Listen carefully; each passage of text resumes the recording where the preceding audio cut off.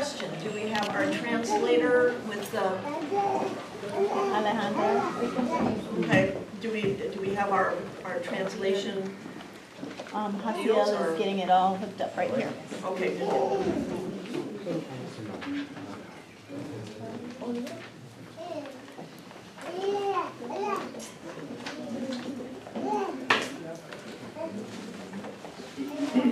I'm, I'm waiting because I, I want to make sure that the translation, um, the audio translation uh, is available to anyone who wishes it.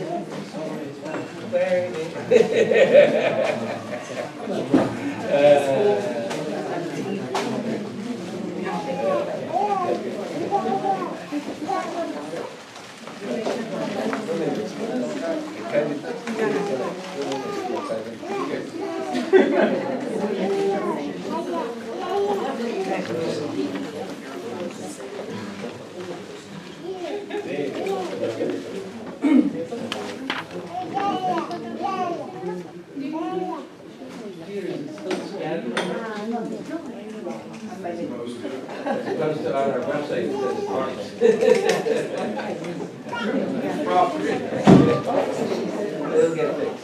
On your previous name, says parks. It's missing scan. Scan colon. What I had said was, we should put, it it should say Morrison Arts. We just left off the Morrison. Uh, Okay, we are, we are underway. Um, are we all mixed up with the translation machines? Everybody ready, not going?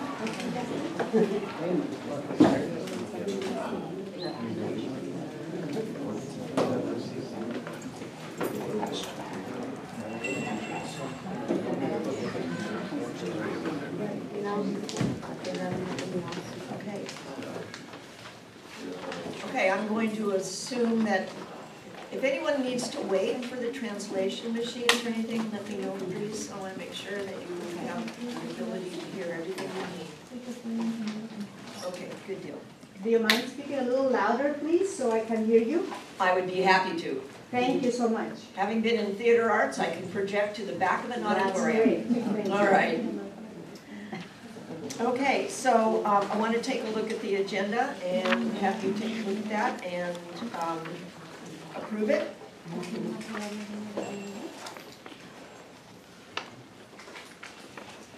Motion to approve? Any discussion? Okay, um, all those in favor of approving the agenda as written, say aye. Aye. Any opposed? Okay. Take a look at the minutes, please.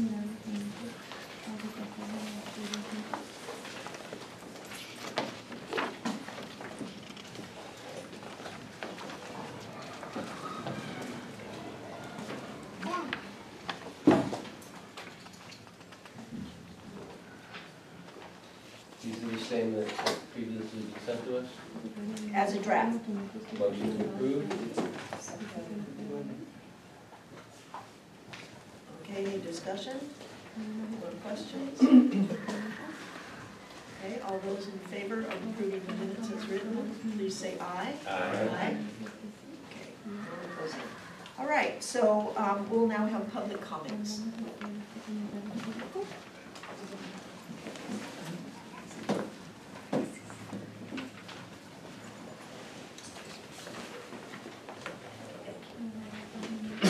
Can I have a copy of the board packet? Is this with the L caps and everything in there? Because last time you guys didn't have that information in here. It's not. You still again, yet again, do not have the L caps and the rest of the packet for the board.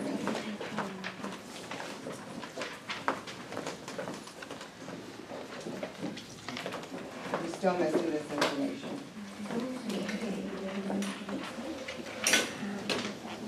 Okay, so we have um, a number of public comments, and um, I didn't get them in any particular order. So I'm going to go ahead and ask um, Hilda, are you having a, yes, I see right here, okay. Good morning, everyone. My name is Hilda Rodriguez Guzman, founding parent of TAS since 1994 and grandparent. Health Services Coordinator since two thousand seven, SEIU Local ninety-nine Chief Steward of the Classified Staff since two thousand ten, Taz and School Site Council Chair. When I began my employment in two thousand seven, I quickly discovered that my services were greatly needed. I understood why Kevin Sved, co-founder of the Accelerated Schools, desperately sought me out. There were students that being, that weren't being properly medicated per doctor's orders, and immunization compliance was a huge co- concern coupled with a lack of health policies and procedures. I quickly jumped into my role at TAS with ease, given my background as an Esperanza Community Health Promotora, LAUSD Healthcare Advocate, and USC Head Start Health Services Coordinator. Those roles enabled me to provide and perform the duties and responsibilities to the students at TAS and directly provide them health services which which are in dire need. I developed many policies and procedures throughout my tenure at TAS which weren't solely health related. I have been, an- I have had an excellent track record for close to twelve years of service at TAS. I have dedicated my personal and professional career to ensuring that TAS keeps our mission and vision alive for years to come. I wasn't shocked, but definitely disappointed with the manner in which my long-standing employment with TAS was terminated abruptly without notice and no negotiations or discussions with my union representatives via email on July 11, 2019. I am here today surrounded by my children and my community to this board to reinstate me in my position as health service coordinator effective immediately as I have done nothing wrong but care and advocate for my community. I do not deserve, deserve this unjust treatment by this board and school officials. Thank you. Thank you. Um, let's see. Um, Francis, ready?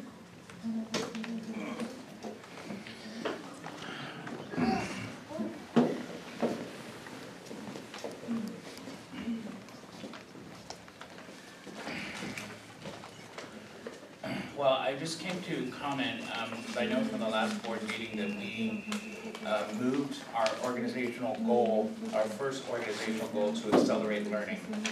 And, um, I'm coming to thank the board, first of all, for that priority. And I also want to come to speak on the huge, massive organizational shift that has occurred this year. Um, our team has already have eighty informal observations, multiple workshops. And I would say this is probably one of the first years where I say that instruction is truly our focus. Uh, with the addition of the directors, the directors have taken on a lot of duties that the principals and the uh, the assistant principals would often do. And so our focus is in the classroom, preparing workshops and supporting teachers uh, so that we can move that to our priority at the school in accelerated learning. So I want to thank the board and I want to thank the support team today for making that a focus. Um, I want to thank the directors for being good coaches and for being in our walkthroughs, being in our administrative meetings and giving us feedback and helping us improve so that we can get better, uh, so that we can have better results in the future. Thank you. so much, Mr. Rennie. Appreciate that. Um, by the way, are we recording this? Okay, I just wanted to make sure that everybody, I, I apologize, I have forgotten to mention this. We are recording our board meetings at this point so that when January comes and we're required to do that and post the recordings on our website, we will have had an opportunity to work out the bugs and figure out how to make that really uh, positive for all of us. So it is being recorded, just Audio or audio video? audio at this point. Okay. Um, Justin Guzman?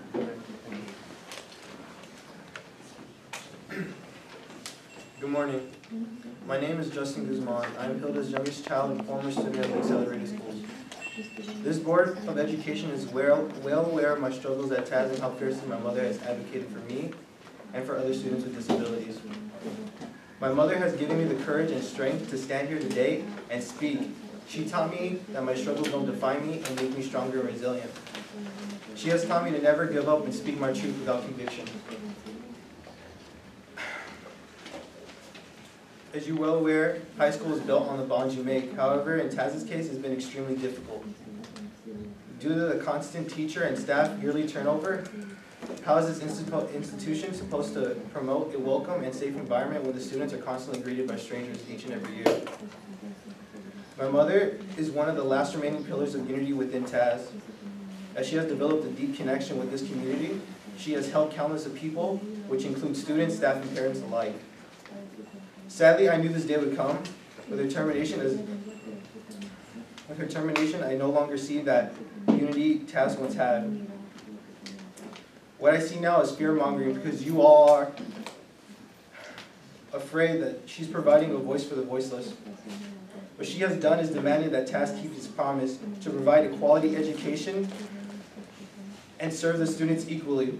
This board in turn chose to unjustly terminate my mother's position, which she loves so dearly. In close, I join my mother, siblings, and community to ask this board to reconsider its decision and give my mom her job back that she's had for eleven plus years. Thank you. Thank you. Um, Christina Guzman?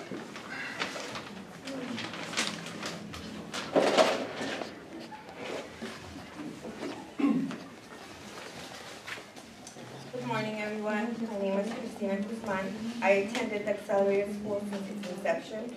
I actually recognize the faces here. Kindergarten through 12th grade. It wa- I was the first, first graduating class of Wallis Annenberg High School in 2007.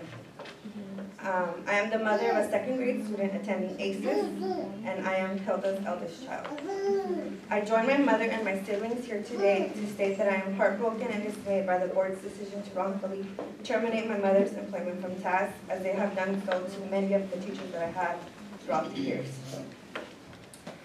She is compassionate, dedicated, hardworking, and a strong supporter of equality in public schools, um, and that they all, that they serve all, especially this neighborhood in which we've lived our entire lives.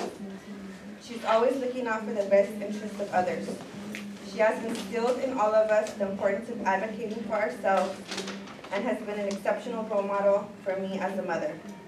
This ordeal has been difficult for our family, given that my mother has given so much and our lengthy history with Taz and this community. Words cannot express my disappointment with the board and its grossly unethical treatment of my mother simply because she has advocated for my siblings and my child. I ask this board to reconsider its decision to reinstate my mother in her position that she's held since 2007, um, soon after I graduated from WAS. Thank you for your time. Um, Sylvia Venegas?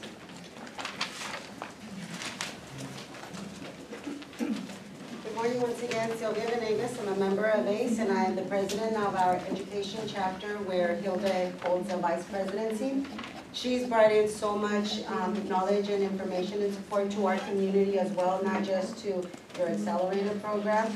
She's a pillar of our community, especially in our special education. And what this board has done unjustly is firing her uh, by mail just proves to show how um, on opposite sides you guys are. And you guys really need to know that she is a very important asset into this um, school, as she has mentioned before.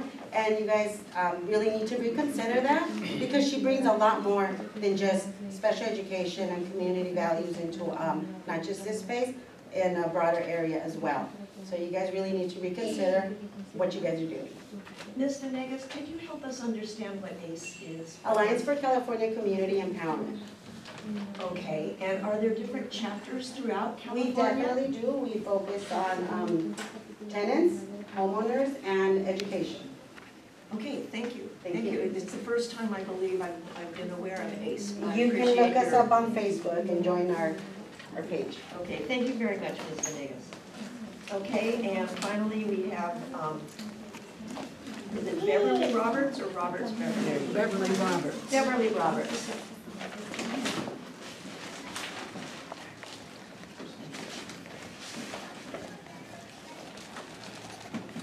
Good morning, everybody. As I said, my name is Beverly Roberts, and I'm the chair for the Home Defenders League in ACE.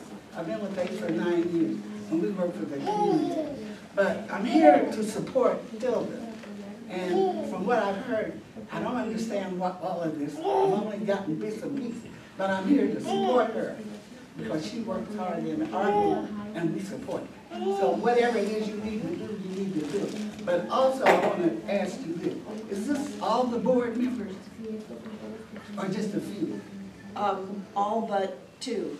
Okay, why is there no more diversity? two? Or more parents. Why is there no more diversity in our community? Why is that? Can you answer me that? This is public comments, we don't need to Well, respond this is this public, point. and I'm in the public, and you in our community. So you need to answer me that. Why isn't there no more diversity since you're in our community? Why? I, I, when I walked in here, I said, mm-hmm. No wonder they fired the girl. You better think about it because you're gonna pay for this. I'm really pissed because this don't make no sense.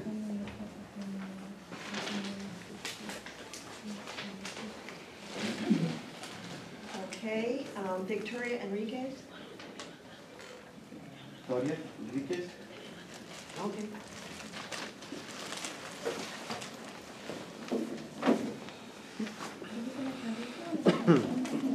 I'll translate for her. Okay, with translation, with translation, you get, you get twice as much time. Con la traducción le dan cuatro minutos para que pueda hablar. Buenos días, mi nombre es Victoria Enríquez, yo vengo a apoyar a la, la señora Hilda, Her name is Que no- Victoria Enriquez, and here, she's here to support uh, Hilda Rodriguez. Que no es posible que le hayan quitado su trabajo. It's not possible for you guys to have taken her employment away. No sé lo que ella siente, porque yo cuando trabajé en una compañía también me hicieron lo mismo. She understands the feeling because she- when she worked in a company, she received the Por same favor, treatment. de su trabajo y la persona que está trabajando, que se quede también, no, no la saquen de su trabajo, que se queden las dos personas, por favor. She's asking for her to, for you guys to give her back her employment, but only about her, not to let go of the other person who's also assisting her.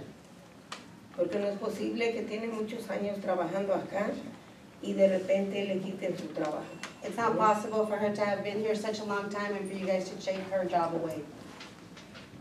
Es lo que le estamos pidiendo a ustedes, que le regresen su trabajo, por favor, We're asking you to give her back her employment. porque ella, yo sé lo que se siente cuando a uno la, la destinan de su trabajo. Se siente uno muy mal. She understands how she feels being without an employment after it's been taken away. She feels bad. Muchas gracias. Thank you. Um, Angela Jimenez?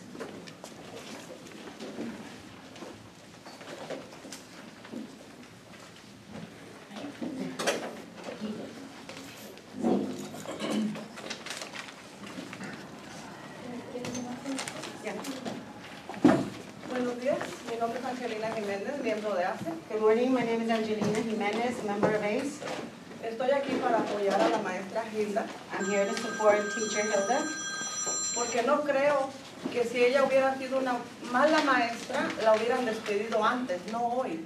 I don't believe that if she was a bad teacher, you guys would have fired her a long time ago, not recently.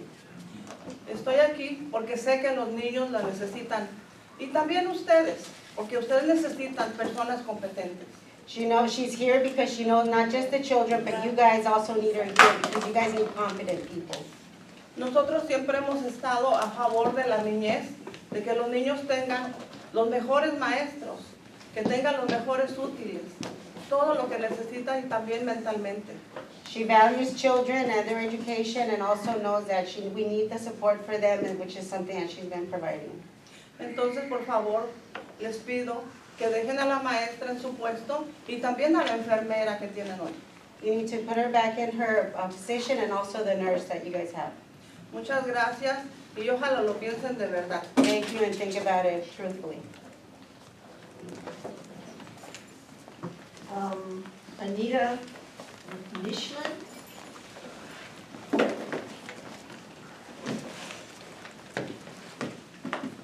Good morning. For your records, my name is Anita Nicklen, N-I-C-K-L-E-N.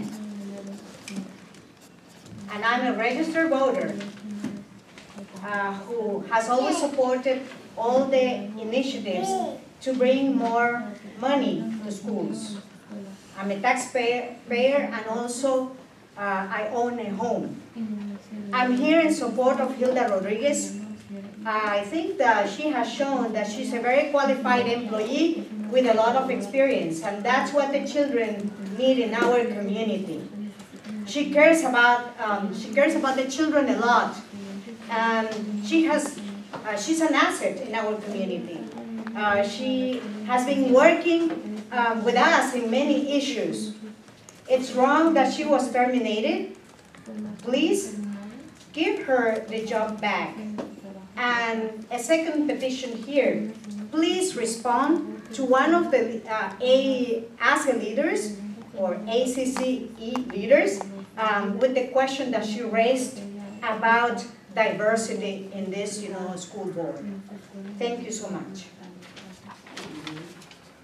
Uh, Maria Sanchez?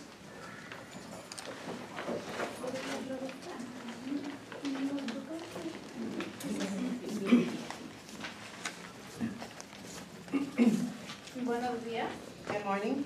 mi nombre es María Sánchez, soy madre de dos niños que participan en las escuelas aceleradas. Vivo en esta comunidad hace más de 16 años y vivo activamente por más de 16 años en esta. Okay, good morning, my name is uh, Maria Sanchez. I'm a mother of two children who are also in accelerated schools. And I work in this community, in the school, and she's very active for more than 16 years. Ah, yo siempre he pensado que la escuela es como un reloj y que cada engrane y cada rondana es importante para su buen funcionamiento. She's always um, thought of the school as a watch, and every part, every screw has a fundamental and valuable piece of um, function. Hoy quiero hablarles de la señora Hilda. La conozco hace más de 10 años, ella es la causante de que yo y muchos padres tengan a sus hijos en las escuelas asignadas. She wants to refer to Ms. Hilda Rodriguez as to why her children have been in the schools and accelerated programs. Ella ha impactado mi vida porque me ha enseñado los derechos de madre, de hija. Pero no solo eso, me ha enseñado a no rendirme, a luchar, a buscar una mejor educación para los niños de nuestra comunidad. Hilda has uh, brought on to her a lot of education and empowerment on how to speak up and how to advocate for her children. She's very grateful for her, also in impacting her her own life. Creo que Isla debe de regresar a la escuela y hacer un buen equipo con la enfermera que ahora tiene. She wants Hilda to come back to her job and work hand in hand with the nurse that they have and make a great team. Pienso que para la otra enfermera tres escuelas para ella sola no es suficiente. It's unjust for the other nurse to have three schools just for one person. Pienso que la señora Hilda conoce a nuestros hijos más que todos ustedes juntos y que la nueva enfermera. Hilda knows all the children in the school more than you guys will or the nurse or have and the nurse either.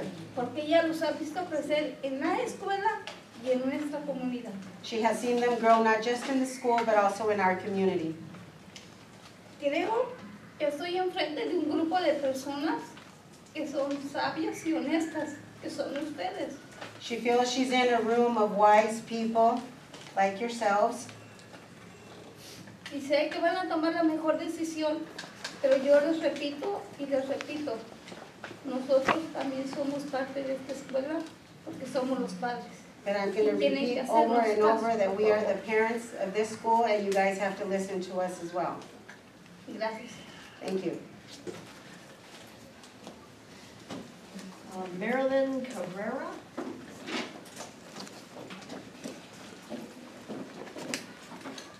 Hello, good morning. My name is Marla Cabrera. I was a former student here in the Accelerated School, graduated class of 2017.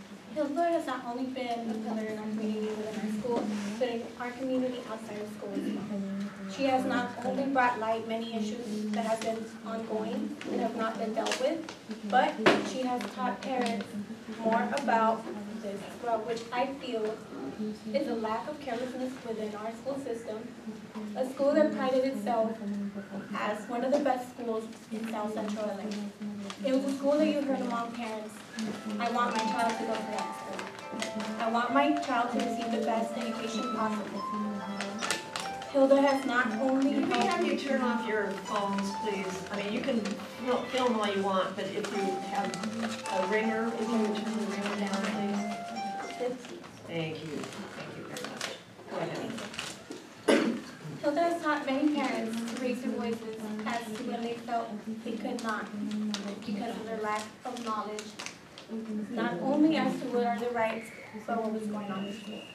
I believe that Hilda should be reinstated in TAS because she has been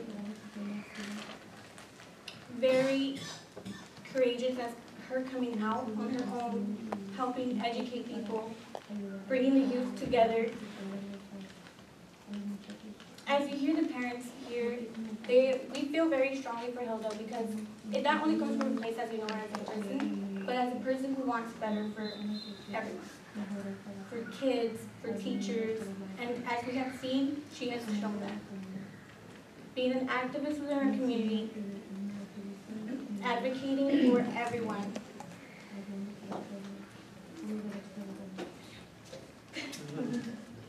Thank you. And our last um, person, um, is it Georges Roman?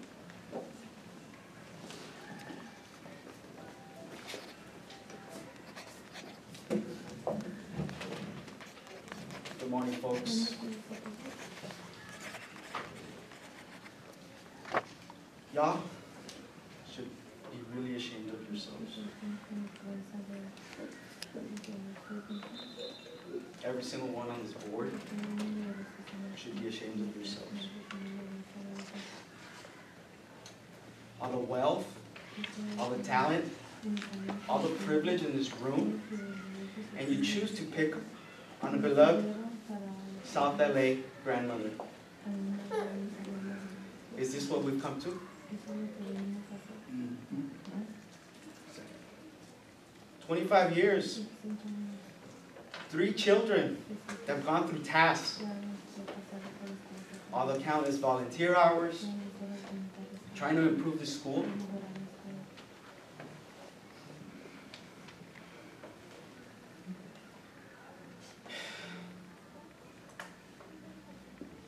And it's your fault. That's what your HR director has said. This came from all of you. So it's all of your responsibilities to fix this.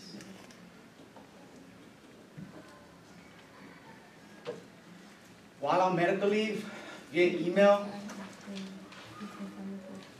the cruelest way to treat people who've been pillars of TAS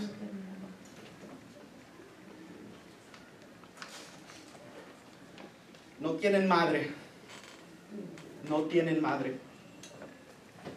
So he said, You don't have a mother. Shame on all of you. Shame on you. Shame on you. Shame on you. Shame on you. Shame on you. Shame on you. Shame on you. Shame on you. Shame. Shame. No diversity. Shame. No parents. Very purposely. No diversity on this board. Two Latino parents that got elected to this board never got the opportunity to serve. Shame on you. Shame on you. That's the reason why. Shame. Because you don't want, you want the brothers to voice it. Shame. Shame. Email shame. Her. Via shame email. Via on the shame not suffering from work-related injury. When set when shame 73 Judy. kids, shame I hurt myself with 73 kids. Shame on the lawn, shame Peter. With, with one shame Jared. Teacher. Shame on all of you. Shame. Such an embarrassment in our community. Yes. You guys come into this community and have no diversity. Where are all the parents? Why don't we have more parents listening to what's happening? Because they're. Why don't they have the opportunity to be here and speak? You've had the opportunity to Yes, we have. for your Thank two you. minutes. We appreciate it. And we're going to move Yes, we the will. agenda along. Yes, sir.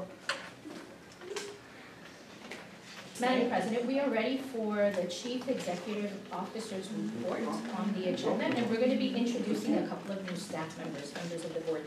Our first introduction is Mr. Robert Canosakar, he likes to be called Bobby, and he is rounding out our team as our secondary director of education. He started his educational career as a high school English teacher for LAUSD, and after numerous years, Mr. Canosakar was promoted to LAUSD Central Office as the English Language Arts Content Specialist. He then served as assistant principal of two high schools with multiple tracks, and Mr. Carr is a seasoned high school principal. We'll be back!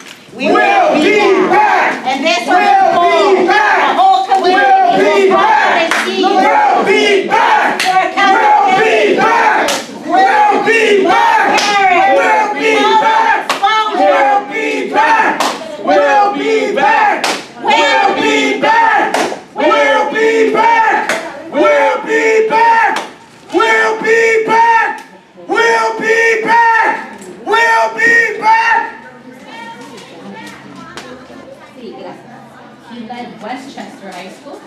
Transitioning to um, a comprehensive high school into a set of three science-themed magnet schools.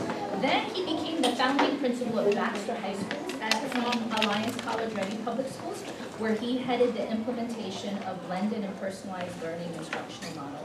He graduated with Bachelor's of Arts in English, and he also served as CIF president for Los Angeles section. Please join me in congratulating Mr. Konosakar as our Director of Secondary Education. Sorry, your introduction was interrupted, but welcome aboard. Bobby, would you like to say a couple of words to our board? Sure. Just thank you very much for bringing me on board. It's an honor to be able to work with this organization. It's been my passion throughout my career to provide opportunities for traditionally underserved children to get a world-class education. That was why I chose to join this organization because I believe that vision that I have for myself in my career is very much in alignment with the leadership we have in this organization. So I thank you for the opportunity to work with you to do that. Um, we also have our two college and career-ready counselors. Those are new positions supporting our high schools. Um, is Daisy, Dr. Kwong, would you mind doing the introduction for your two college and career-ready counselors? Sure. Um, did I say the name already? This is Daisy Flores, and this is Jacob Fong. So there are two counselors, and um, for this year, so the way that we split it up is Mr. Fong has ninth and eleventh grade students, and then Ms. Daisy Flores has the tenth and the twelfth grade students, working alongside Ms. Zelaya in terms of providing support for all the seniors this year. And your staff members. Thank you. Welcome aboard. Thank you for having us. Thank you, Jacob. Thank you, Daisy. And then our last introduction will be with our Director of HR. We'd like to introduce our new nurse.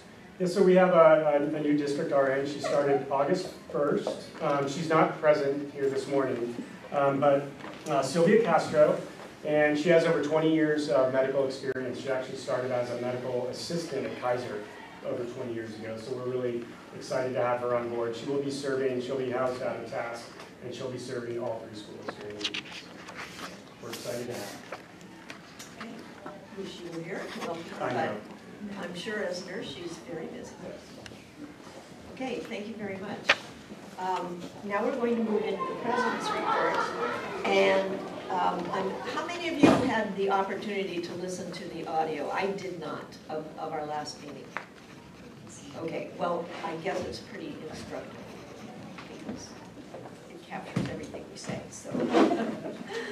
All right, so uh, we, what we did uh, at the last board meeting was have the board identify two priorities for board goals to help direct the focus for this particular year in the actual operations. So uh, Grace, I'd like to turn this over to you. Actually, it's under eleven o'clock, um, under board goal discussion. Oh, I see. Okay, Well, we're going to review those at eleven. Okay. Um, parent representative nomination process. In your board packet,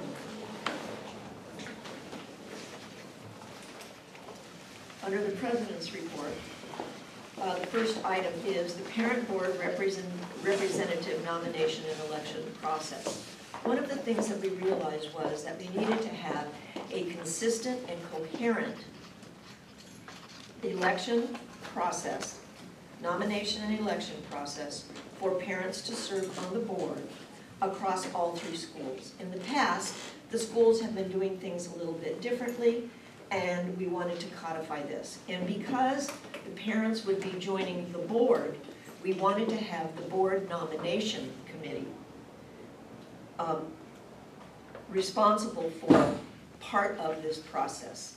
So you'll see, if you have the opportunity to read this, um, you'll see that our purpose was to really make sure that our parents were represented on the board, that the parents will be able to contribute to the overall vision and mission of the accelerated school, and that they are nominated, elected, and approved by their school's population and the full board consistent with past governing, uh, governing board bylaws. We formed a group and we asked the principals to develop a nomination form with these particular uh, qualifications, which you'll find on the next page. Um, And encourage and recruit parents from across their school to apply to be on the board as a parent representative. Those applications are coming in now. They will be um, collected fairly soon. We're hoping that the board nomination committee, which is Leonard, myself, and Binti, we do have some diversity on the board, unfortunately, they're just not here. Um, And we will take a look at what the nomination um, applications look like, which will include a resume, a statement of intent, and how they feel they can really help the accelerated schools um, by being on the board. And then we will, the nomination committee will review those and get back to the principals about people we feel, the parents we feel are eligible to serve. And um, that is part of this, so the nomination committee, step four, will review those. And then at this, at a subsequent governing board meeting, our next would be in September. That is going to be a call-in. So one of the assumptions we're making is that if the board nomination committee approves these parents to stand for nomination at their individual schools, and they are elected by their school population at a formally held meeting, which is part of the bylaws, that then we would assume that the rest of the board would feel comfortable doing it on a consent item. Okay, so I just, the dates will change. One of the things we're interested in doing is having these elections be at the end of the school year so that we can engage parents early in the summer with onboarding and helping to train them so that they become more verbal and um, able to assist us on the board. So eventually, we're hoping to change that timeline. Again, the timeline then would have our parent representatives starting at the beginning of the school year, rather than in the middle of the school year in December where we've had all of these things going on, and then they come on board and they really don't have as much context as they need in order to be viable board members and um, be with us. So one of the things we're looking at is just changing that particular timeline. So whole board votes, that would be by consent, we're hoping in September. Um, and the new parent board representatives will be welcomed onto the board and they will um, have an onboarding. And um, that is this particular action item, and I would open this up for discussion.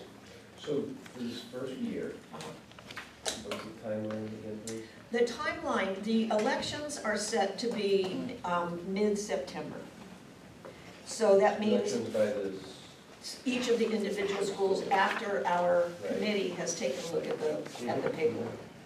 Yes, and so the timeline would be then, September, they would be approved, and then I would do an onboarding with them in early October, so that they can be seated in October and then spend the rest of the year with us.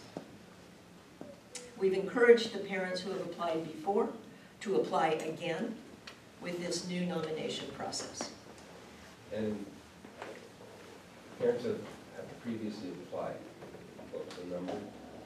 Um, We don't have all of the applications in right now. Approximately, do, do we have, Um, I believe TAS has two, with two more coming. Um, I'm not sure about ACES and WAS.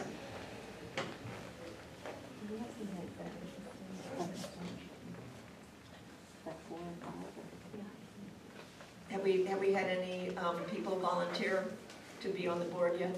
Yeah, she's, Push some aces or yeah, she's looking at the, at the, at the numbers, maybe four or five. Maybe four or five from the high school?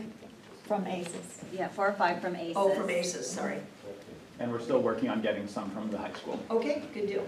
may I ask a question, go go back? Go, go ahead. The, Uh, the nurse that we hired, her level is, is she, did I hear you say she was an RN? She's an RN, yes. Great. Okay. Verified by, um, uh, on the website. Okay. Okay, so, any other questions or discussion on this new nomination process? Get a motion? Okay, do we have a second? Second. Okay, any further discussion or questions? Okay, all in favor, please say aye. Aye. Okay, that was everybody. Okay, so that passes. Thank you very much. Next, school as a whole. This is an information item. One of the things that the accelerated school um, had as part of its principal organizing feature when Hank Levin developed the model was that if it were one school and you had different grade levels and different departments, each of those different grade levels and departments would have their own special issues. But that to bring everyone together for a school as a whole, because there are going to be some issues that are overarching. Well, this is a small district, and with this particular group of schools, we have overarching issues that go beyond individual school issues that affect the entire community. So one of the things we wanted to do was, and when I say we, we had a committee that was working on this, and it included Grace, excuse me, Mrs. Chang, our CEO. Okay. Okay, I didn't know it was like, I, I don't wanna get, you know, too comfortable here with first names, but anyway. Um, so it had Grace, I was, uh, leading those meetings, and then we had all of the principals and our director of curriculum and instruction. We also invited our parents who had run for election, Scott has served, we had two other parents from, um, ACES, oh, I lied. Um, I misspoke, excuse me, uh, from TAS and from WAS. And they were with us as well, giving us ideas about what parent volunteerism could be like, the role they would like to play as board members, and the idea of the school as a whole came up, and they wholeheartedly supported it, this particular um, group. So you can see here a description. It is to recognize the issues that go across all three of our schools that affect us as a district, if you will. And the representative roles of the parents would have really a lot of meaning because they would be responsible for supporting the um, planning for and the communication out to their individual school parent population to bring them to the school as a whole. One of the things that became really quite apparent was that the topics that we wanted to have came up during the LCAP. And so we would be responding directly to the parents and the issues that they, um, that they highly found important in terms of the LCAP and the survey that they took. So we're really interested in expanding parent engagement. We want to make certain that our teachers um, are connected to the parents in multiple ways. And so the school as a whole is a different um, mechanism. And there, we currently have tentatively four per year The first one is going to be in September, and it's going to be the day before our call-in board meeting. And one of the things that is on the agenda is for me to talk about what the board role is in supporting the accelerated schools, and in particular, the two board goals that we have this year, so that our parents really know and understand the work that we're engaged in, and that we are aligned as a board with our leadership and with our administration and with our faculty. So that's really the meaning of the uh, SAW. And we would have, uh, right now, fingers crossed, we're going to be floating a position for the parent and community liaison. And that person would be a full-time position that would work to support parent workshops, as well as our parent board representatives when they prepare for the school advisory, um, excuse me, the school as a whole. So this is just information because this is a management decision, so it isn't a board requirement. But we wanted to make certain that the board knew, and I'm inviting all of the board to come with me um, on September 25th, and I believe the meeting is at 8:30 in the morning. Just so you know. Okay. Any questions or um, discussion about the school as a whole? We're actually pretty excited about it, to tell you the truth. Um, Okay, and then the last thing we have is a parent advisory committee. Now, when we have parents on the board, we do like for them to be involved in a committee. Uh, So far, our committees have not really been as energized, although that's one of my goals, personal board goals, to get our committees energized. And one of the things that we thought would be very important is for our parent representatives who are duly elected, having gone through a screening of their school and our board uh, nomination committee, would come together as a formally recognized committee of the board, which would mean that they would be responsible for following the Brown Act.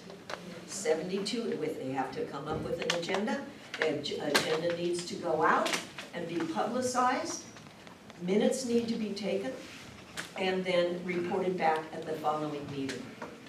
We're very interested in this being a formal committee of the board.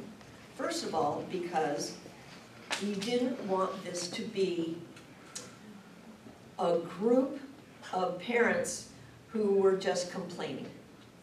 We wanted it to be a group of parents who were seeking to take issues that the parents bring, both in the individual schools, but also across all three schools. So that it was an organized meeting and it fed into the board as a whole. So, um, this is an action item, it doesn't say that on the pack, but this is an action item and we would like, um, some discussion and questions about this.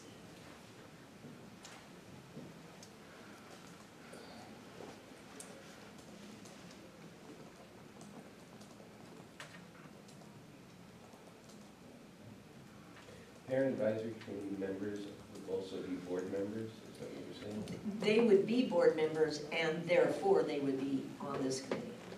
They would be appointed to that committee So, as board members. and you're thinking that the, the parent board members would be the logical choice? To start out the committee, we could have other, like, for instance, I'm planning on being on that committee myself, because part of it was my idea. So I thought I would just, you know, stand in front and uh, lead rather than standing back and push. But yeah, I believe other board members could certainly be a part of, of the, uh, that particular committee. I like the formality of it because it puts some constraints, but it also gives that, it gives a huge opportunity for voicing a lot of these kinds of issues, but in a formal, um, protocol sort of. Right, and one of the, uh, one of the attributes of this particular proposal is that there would be a time on each board agenda for the Parent Advisory Committee to report to the board and to the public about what the issues are.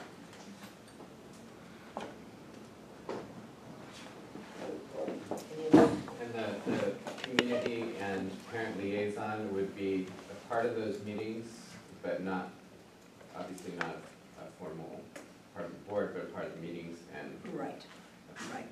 Because the parent community liaison, in, in our mind, in the committee's mind that worked on this to put it together, was that it goes beyond the parent advisory committee to parent workshops, um, reaching out to the community in other ways, planning uh, cleanup events, um, working with the school leadership.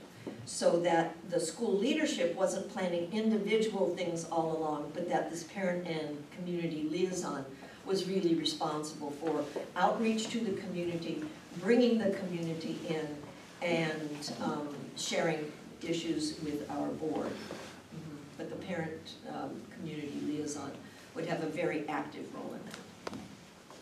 We took the model actually from um, the 21st Century Learning Center, where Yvonne Chan is the principal and has been the principal for 25 years. I went out and spent the day with uh, their particular um, community member and came back with just incredible um, ideas about how to form partnerships with community groups as well as to have different kinds of workshops for parents and to bring the schools into that and the faculties into that. One of the things they had, which was really fascinating, was they had two monthly parent meetings with different topics that the parents had identified.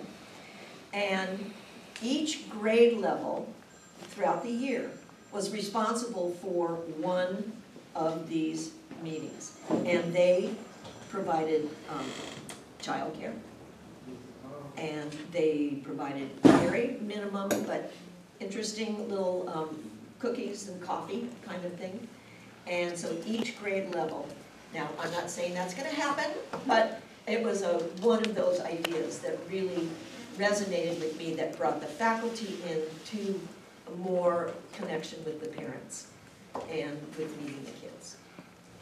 So I thought it was a good idea. Any, any other questions or comments? Uh, just a comment, Juli, I just wanna say thank you so much for all your effort you put into this. I think it's super significant that, um, that these things are happening and just as a parent, really grateful for the effort you put into it. Thanks, and I want to thank the committee, um, as I mentioned, that was all of our principals, uh, director of curriculum instruction, and our CEO. So this was a large group that met four or five, well, actually, I think we met five times, to put this together and to really flesh this out. Okay, so, can I get a motion? Okay, Second. okay. All those in favor say aye. Aye. Okay. I'm a happy girl.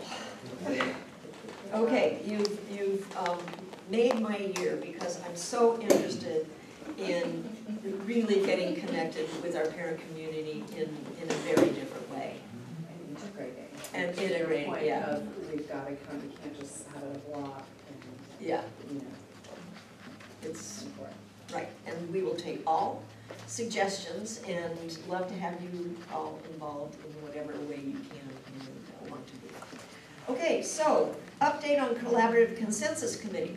Okay, this was another one of those interesting ideas that has blossomed. And very, very excited. I can't even remember how many meetings we've had. How many have we had? We met About eight. eight? Is that counting the, Mhm. okay. So we met two days in a row in the afternoon after um, our, our teachers were um, out of summer school and the principals were with us. And we started out with our union representatives. And Carrie um, took another job, and she's not our union representative, so she was um, followed on that committee by, but anyway, we had, we had teachers from each of the schools, we had an administrator from each of the school, and um, Grace and I were there. And we did investigation from other districts and other charter schools, as well as from John's organization, on what their evaluations were like. And the purpose of the C3 committee, which is the, the collaborative consensus committee, came out of the negotiations. And there was a side letter signed that this in fact was going to be one of the committees that the school was going to support. And the first piece of business was to relook at and change the way teachers are evaluated. Because the second part of this was, we wanted to develop multi-year criteria for contract, um, for offering multi-year contracts. And it was impossible for teachers to reach the, that level of exceeds in everything, um, across all of the different, um, California standards for the teaching profession. Therefore, we have finished, as a group, a pilot that shifts the emphasis from catching you doing something wrong to catching you doing something right and really thinking about growth. Because anyone we hire, we want to keep and we want them to grow. So we have a pilot that's starting this year within, with the evaluation. We have, we have a vision from our CEO. We have how this relates to what used to be, as well as where we're headed and the direction we're headed, which is growth, support, and helping people become better educators. And um, we have the forms that were developed by the group. We have rubrics that are specific to those forms and what we're going to be observing. And one of the most exciting parts is that the teachers in this particular C3 committee have requested the opportunity to have a peer work with them and to give them feedback. So that is part of the pilot. So they will be, if, I don't, I don't like the word evaluate, their performance will be assessed, let me just put it that way, um, by a number of people. It won't just be the administrator. It will be, um, this peer that is selected, and then it will also be potentially the coaches, the counselors, and other administrative managers. So it's a little bit larger group of people who are really going to be giving different perspectives. The other thing that we thought was really interesting, and we'll see how this works out because it is a pilot, but the first set of visits are going to focus on, I wish I could remember the things that they were going to focus on. Uh, Competencies related to classroom management and instruction. Right, beginning of the school year, classroom management, you know that's a big, big deal, especially for some of our new teachers. And then the second group of visits will be, Teaching, instruction, and assessment. okay, so that's when the, getting ready for the the testing goes, our own individual testing. And then the final set of, of uh, visits will be, Professional accountabilities and quality of student learning. okay, so, So this should be the four Cs, because is it an- is an outgrowth of our Cheesecake Factory meeting? yes, yeah, yes, actually it is. I mean, you were in the room when this topic came up. So, yeah, I was actually gonna say, I don't wanna wait three years. uh, No, no, it's after starting. Meeting with them, and to just we meet again at at the Cheesecake Factory. and ask What's going on? But it, but I don't think we need to do that. Those people, we think that they're satisfied that we are actually following through some of the proactive things that they. Uh, not that- that we're just following through with some of it, they are actively involved in helping create the new evaluation. It's co-created, So those Cheesecake Factory teachers. Right. Are, are we confident that they're happy with the direction? Yes, we are. Um, as a matter of fact, um, Amber is still on the committee. Mhm. We've had two other teachers fill in for people who have left the leadership position, union position. And they're very excited. I mean, believe me, this was a consensus committee. It wasn't voting. It was, ever Feel we'd be productive to them to lunch again, we'd have to come and host. I accept on their behalf.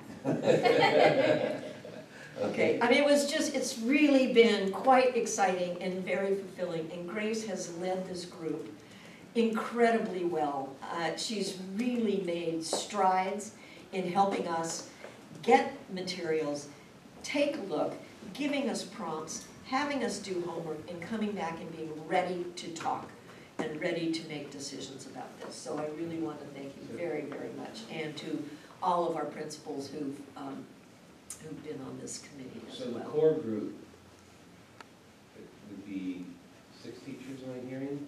No, well, if, if you want to bring back the two teachers, Right, well, one of them has um, moved on. yeah, Um, Carrie is still with us, but she is a different position.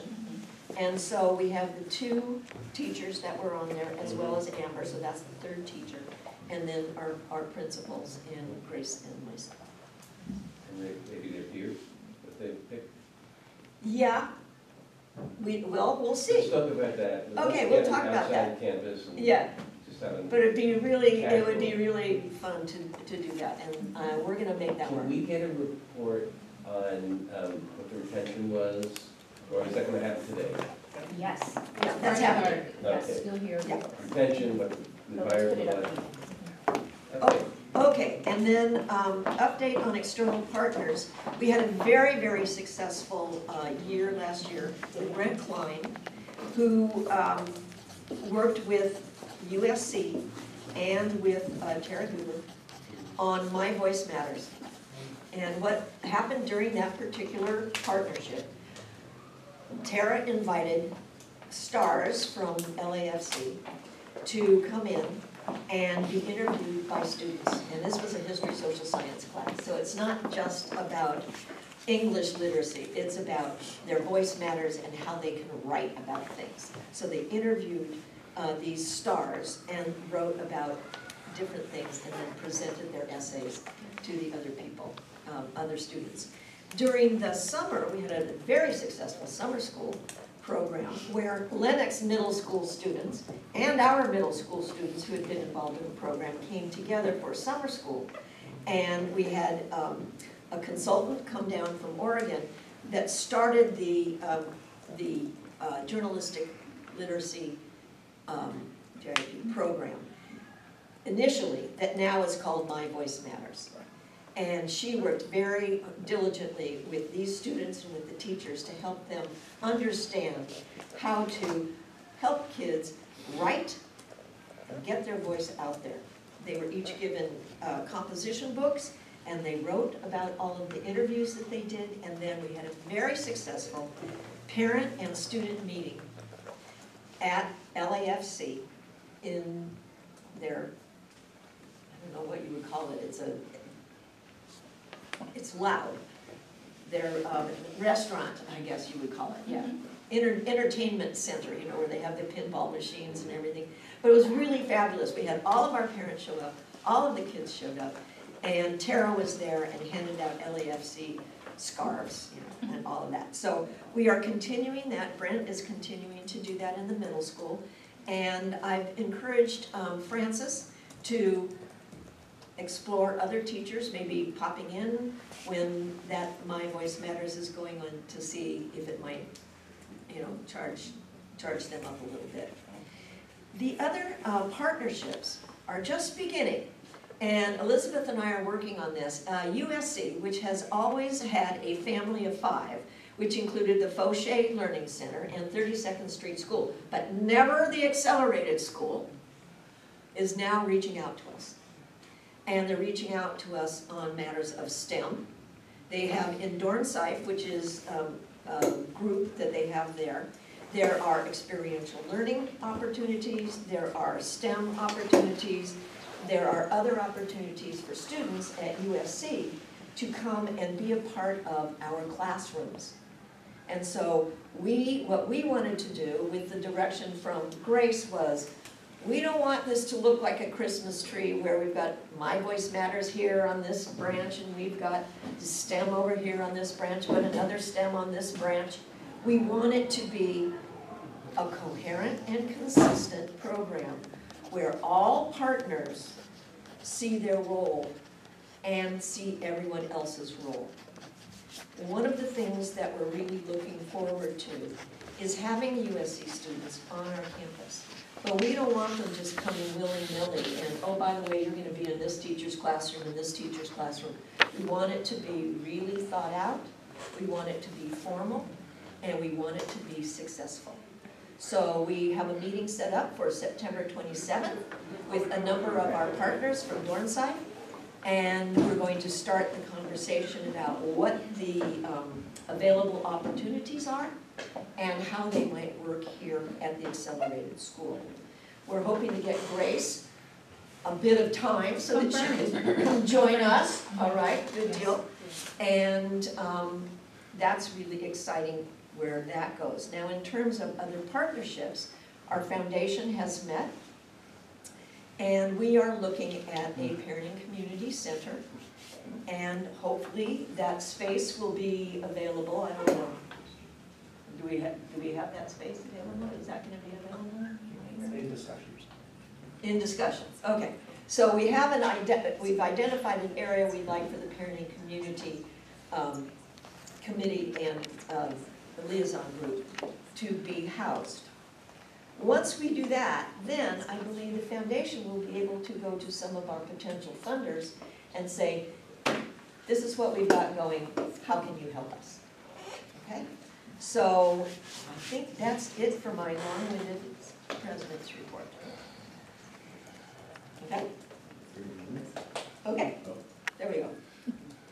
Any, comments any comments or anything else? Very exciting. Okay, good deal. Nice to see USC engaging. Yes, yes, and they're, they're really, um, they're really reaching out to us, it's really cool. Can I speak Yeah, go. that just for a second? Yeah, I'll please. elaborate on that. Um, You know, the precedent, I mean, I did go outside the family of five, and this was ten years You ago. did. I partnered with Susan You, you rebel, you. And I did, I, I broke new ground and, and came over here, and, and my students have been coming here and making a real difference for years, probably about a decade. So this is why, one of the reasons why we can now accept this kind of, oh my gosh, we're going to now expand, you know, to do this. But it also gives us an opportunity to replicate, you know, to look up at, look at this model and say, all we have to do is replicate it. It's already been sort of experimented with. Do you see what I mean? And we can examine it and tweak it, whatever we want to do with it, but, but really, the pattern is established. So instead of having to reinvent the wheel. Right. Good point, good point. Okay, any, any other? Okay, moving right along, Yes. it'd be um, you. Do the board members need a little stretch break, about five minutes? Yeah? Sure. You've been sitting for about an hour, so. Yeah, am I- Come back at eleven fifteen? Thank you. Okay. How are you? Good. Have a summer? Hi, I wanted to introduce myself. I'm Grace, the CEO. Well, we didn't, really. Nice to meet you. Trying to get away with this on right now.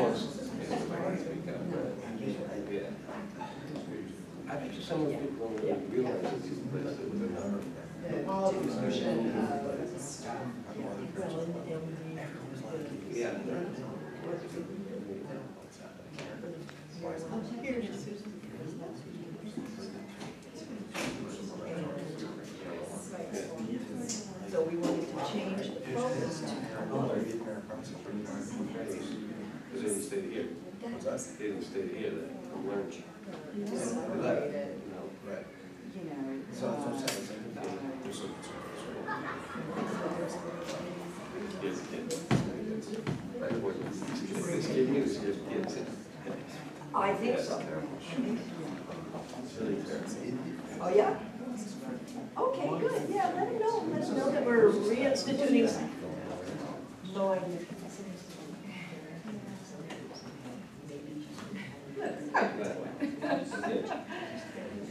Yep.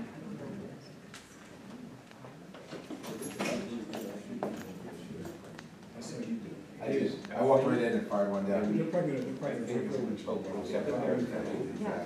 Yeah. But it's just too much for you know, I just. You know, I'm not I know. on side for side. Gracious Right. to me this So morning, have- so I- I- Mine is, mine has I don't wanna not say been. good, gracious. And I kept thinking, oh, I'm gonna, I'm gonna, uh, yeah, I'm gonna be ready to So if Sure, eat, eat so, today, sure, then I know, well, bring tapas, Eat tapas, or you know, we're no. gonna- Right, but just all the wine that way, of course, because I was working. By the ranch. How are you? Yeah. Well, and by the way, I think we're.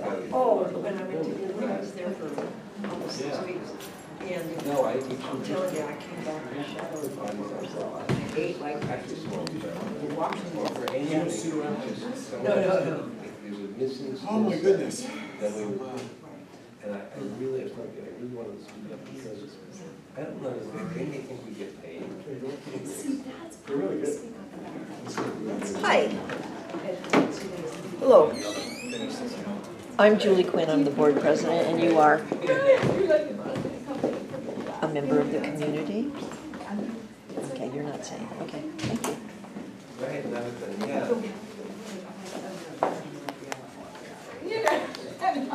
Okay, I think we're ready, you know, back.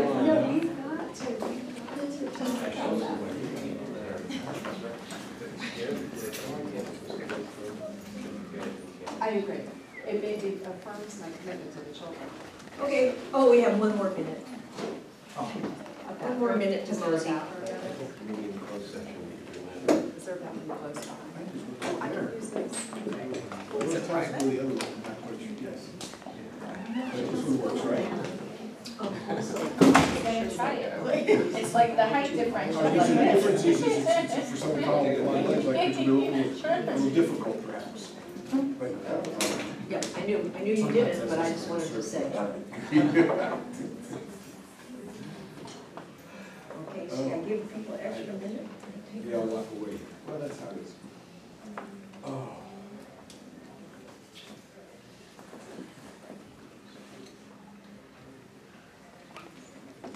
When do you go to Oh, Monday? Mm-hmm. Yeah, eleven days. It's a tour, but, What? but inexpensive. What do you expect to see? Uh, going to Bilbao? Madrid, we're gonna be in Madrid. Um, I, I don't, I haven't seen a map yet, so I don't really remember. Are you going to the Bilbao, to the museum? Oh, I'm, yes, that's part of the itinerary, yeah. I just know the cities we're going to at this point. I really haven't studied the itinerary very closely, but, It's Monday, no? yeah. Well, I figure on the plane. You get a little. Well, the dollar is very strong, Yeah, and that's why a lot of people are going. yep, yep. It was strong in Canada too. I was, I was in Canada earlier in August. What's it exchanging? I know, you haven't even been to Um, now, uh, it was, it was one. Oh, I give you credit, you have, you have, Thirteen. oh. Yeah, I thought it was higher. But that was, I ordered my, my, um, euros That's money you a while spend. ago. Oh, euro, euro, euros. Yeah. But still, I was there a few years ago, it was dollar seven, now it's Oh, yeah. dollar eleven. Well, and the pound has really gone down because of the turmoil there.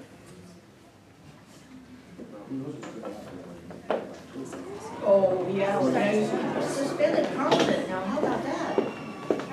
And the queen said, okay.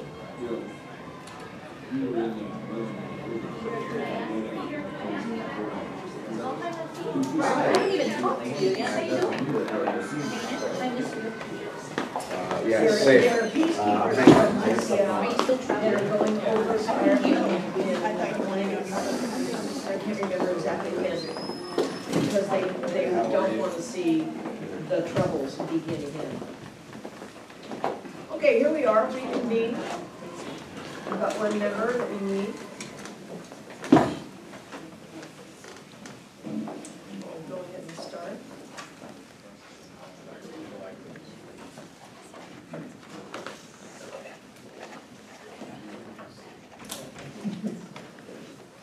Okay, here we go.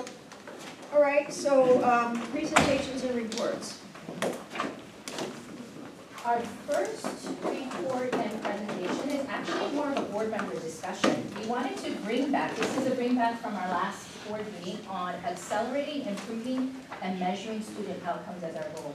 Thank you very much for your lively discussion. I know you didn't have a chance to uh, listen to the board recording, so I listened to it on your behalf like four times. First time was to listen to Juli and be in awe of how she facilitated that discussion. It was one of the first times that we've come together as a board to have board goals.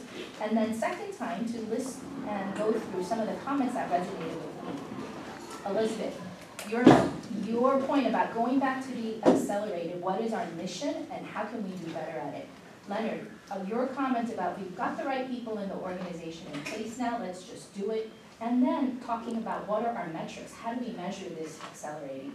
Larry, thank you for recognizing the four common threads, mission, where we, where are we on mission, quality personnel, communications as a goal, and stability in personnel and finance. And thank you for recognizing that these aren't small changes.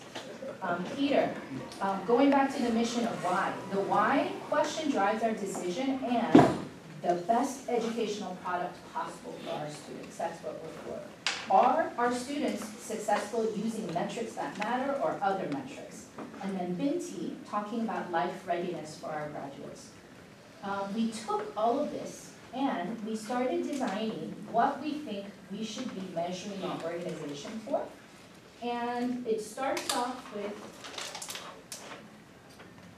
our board goal to accelerate, improve, and measure student outcomes. And we're going to be sharing with you four different ways that we think it should be measured along mile markers for our students that are within the organization. We're going to share a metric with you at the very early stage when they enter us at early literacy. We're going to talk about the mid-years growth and where are our students doing at growth. Then we're going to go to the achievement. Where is our final achievement for our students at the end using our high school data? And then lastly, how do we build an organizational system around talent recruitment and retention for these areas? We're going to be asking you four mini discussions. So after each of those four metrics, we're going to be asking you, are these the measures or is this the measure? We're gonna be sharing with you where are we now, and we would like to engage you in, this is where we are now, and one hundred percent is our end goal, where do you see us going next? So the first success criteria that we would like to introduce is the early literacy measure of all students who are with us. When they enter our schools, and if they're entering our schools, that they should be reading at grade level by second grade. And Susan's gonna elaborate more on why second grade reading lifestyle level is an important indicator, and she's gonna be sharing with us data on where we are right now. We'd like the board members to think about, and we're gonna discuss afterwards, is this the right metric? And where should we go next? Thank you. Uh, good morning, Madam President, board members, good to see you. Um, I'm very excited about doing this because it's uh, measuring across all of the grade levels, and early literacy is a passion of mine. When I was in education, I was a literacy coach and a content expert, and so it's a huge part of what we want for our students to be able to accomplish. So, um, as it says here, we want hundred percent of our students who have entered our school, they've entered in kindergarten, by second grade, we want them to be able, um, to be reading at grade level. So why is early literacy important? It, it just, it's the basic foundation for students to be successful, for them to be able to graduate from high school, um, reduction in special education referrals, um, kids that cannot read sometimes uh, are at risk for different behaviors and acting out in the classroom. Um, and it's also, it's more affordable because if you can address any type of reading difficulties that kids have early on, um, it's gonna take less time to address it. So the question is, okay, how are we doing that? We want them to be successful in life. So let's look at uh, some of our early literacy data. We are still working on having a system and a process for gathering data that is common across um, both of the school sites.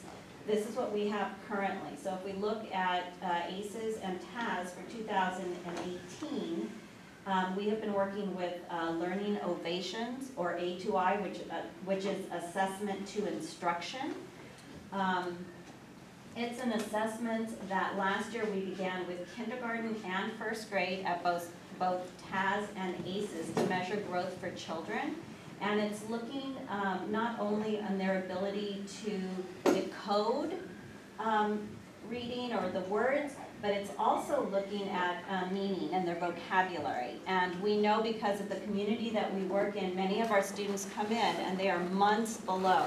So this assessment actually, vocabulary-wise, will measure, uh, for example, if a child is entering kindergarten, it will say that they are, their vocabulary is maybe um, that of a three and a half year old in English, for example.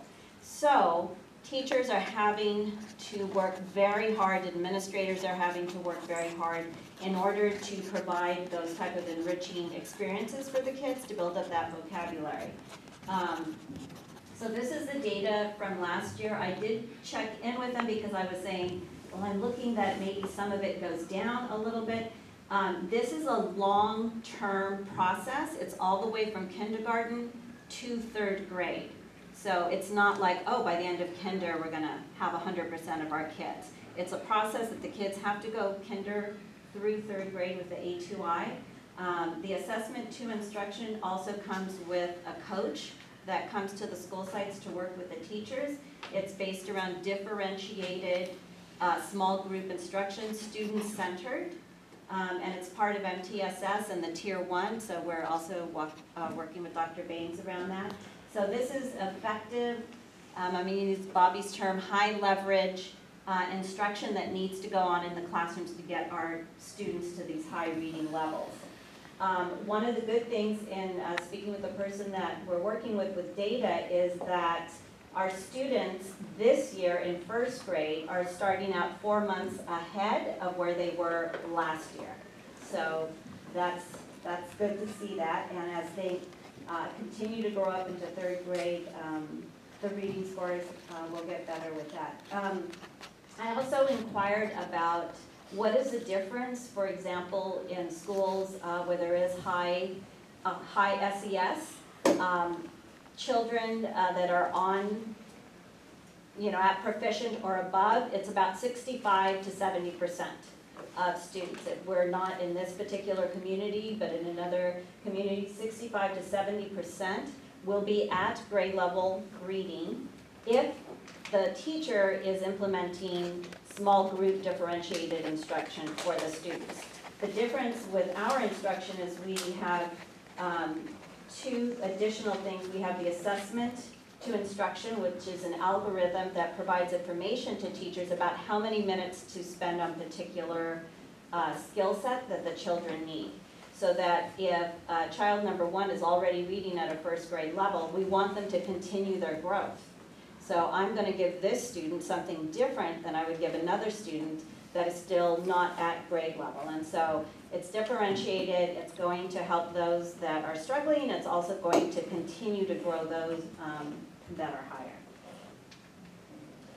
And, oh, and with the A2I and having the coach in this particular program, it increases from sixty-five to seventy percent to ninety-four percent, as high as 94 percent of students reading at grade level regardless of SES, which is huge for our school community, so. we're very And you do, excited in to the, in the this. glossary, you have SES? Uh, Socioeconomically uh, disadvantaged, and the, the terminology changes over there, but, you know, any s- students coming from high poverty, in simple language, students coming from high poverty, but regardless of the background, um, with this particular uh, implementation of teaching kids to read, regardless of their poverty level or their background, um, they have success as high as ninety-four percent, which is, which is good news and important for, for our school community. So CEO and staff presenting our first success criteria on accelerating student learning. That would be one hundred percent of our students who have entered our school since kindergarten will be reading at grade level by second grade. We'd like to hear from the board. Is this a measure? Where do we need to go next if this is our measure, given the data that Susan provided and where we want to be ultimately at hundred percent? Okay, so I just some clarification. At grade level by second grade. Are you talking about the end of second grade in prep for third? Yes. Okay, thanks. What is the, is there a standard out there that works, that's typical across, say, LAUSD? Susan, would you like to address that? I'm sorry, can you repeat the question? I, I, you- truthfully, I don't know if that's a great thing, or if our kids that achieve that are still behind the general population. If the students that achieve, if By, se- ninety by the end of second grade are, are reading at second grade level, is that a good thing, or? Yes, absolutely. Well, Um, it, it, it sounds like that, but what's, what are the statistics for students at large? Can I put it a little differently? Yes. Maybe Can I translate Leonard, I think? Please. So, um, the goal sounds great, I think, I think what Leonard's trying to figure out, and what I'm, I'd like to know as well, is that, uh, an aggressive goal? Yes. Or medium, medium goal, That's a or, very or, a con- aggressive or a conservative goal? aggressive, Okay. extremely aggressive. That, that was essentially the question. Yeah, hundred percent. I, listen, I, so, so, hey Larry, look, I, I assume, listen, I assume it's an aggressive goal. I just think our goals should be aggressive. Yeah. We wanna be delivering the highest quality education to all our students. So I think we should wanna confirm that as a board, that we are staying aggressive in our goals. That's why the little guy on our logo is going like this. Right. Aiming high. We're staying Not accelerated. Exactly. I think hundred percent is really Accelerate. because why would we, why would we ever set a standard that we assume not all of our children would Well, succeed? for I sure. think- I think that's right. So I think we have to have hundred percent. I don't know what Yeah. that, where does that standard come from? Hundred percent or? No, the uh, second grade, It's- second grade It's going level. back that if children generally, uh, people use third grade, Yeah, they if use third children grade. cannot read by third grade, um, there's so many, there's so much different information about students, you know, about, uh, prison populations. Fifty percent of students that are, uh, incarcerated are non-readers, um, they struggle with reading. So this is, this is a huge, um, skill that students need to have in order to be successful generally. But who sets the standard for grade level two? What's, where is it? Well, part of it is you're learning to read, you're kind of learning. No, I, I understand that, but it sounds like there's some metric out there that would say, What, ah, what assessment are you using? Right now, we're using the A2I assessment to instruction. And Um, they, and and they have research that backs up that this is. Oh, yes, Okay. yes. Maybe at another meeting. so I assessment to present more instruction is information. some published, It's through the University of Irvine. okay. Um, and Dr. Connor is working with Learning Ovations, um, along with this assessment, and she came up with, not her, but they came up with an algorithm to determine the minutes that children need in order to be successful. I know it came out of the state, uh, Florida is where they did their research, so it is the only evidence-based research to, uh, support So there's some standard out there that, that you're comfortable that it is acceptable It's to at- apply. And then how do we know at the end of second grade, is it given a test, or how do you know that they? Yes, this assessment is given throughout the school It's year. It can be, it can be done every six, as often as every six weeks. Um, I'm looking at the HY website. Thank And I would, I would, I would summarize what I think happens is, A2I includes an assessment of, of literacy that just agreed upon general standards of what children should be able to know, and know and be able to do, and what assessment means when they're in third grade. And there's a lot of evidence that if they can read at third grade, they're gonna be much more successful than if they can't. So, so the standard makes total sense. HY is one way to assess that. Well, I didn't know about it before today, so I can't tell you I think it's the best thing in the world or not. Right. But it also then comes with a whole set of tools for the school Yes. to, to assess children, to help develop programs to make sure that children at different levels of getting the literacy get the help they need. And, and work with teachers, I assume, th- through your office, to, to, to, to make sure that the teachers know how, how to, how to assess the challenges children have and help get them there. And, and whatever happens when you implement this, we won't have hundred percent literacy next year. It, takes longer than that for teachers to learn how to do it, for Right. students to get comfortable with it, um, and, and to be there. But, but the trick would be to, to see, um, even larger numbers of, of students who are reading at grade level. I, I thought your numbers, um, looked reasonably high for a school in, in, in this area. Uh, so, so that they're starting from a good place, and, and, and it sort of seems like it fits in, as I read this very, very quickly, Yeah. with the concepts around an accelerated school, Yes. which I'm a little more familiar with. Absolutely. So, so it feels like, uh, I mean, you've obviously thought about it, and picked one that's gonna work for you, I wouldn't Yeah. ever think to second guess that, I promise. Uh, but this one looks like it makes sense to me.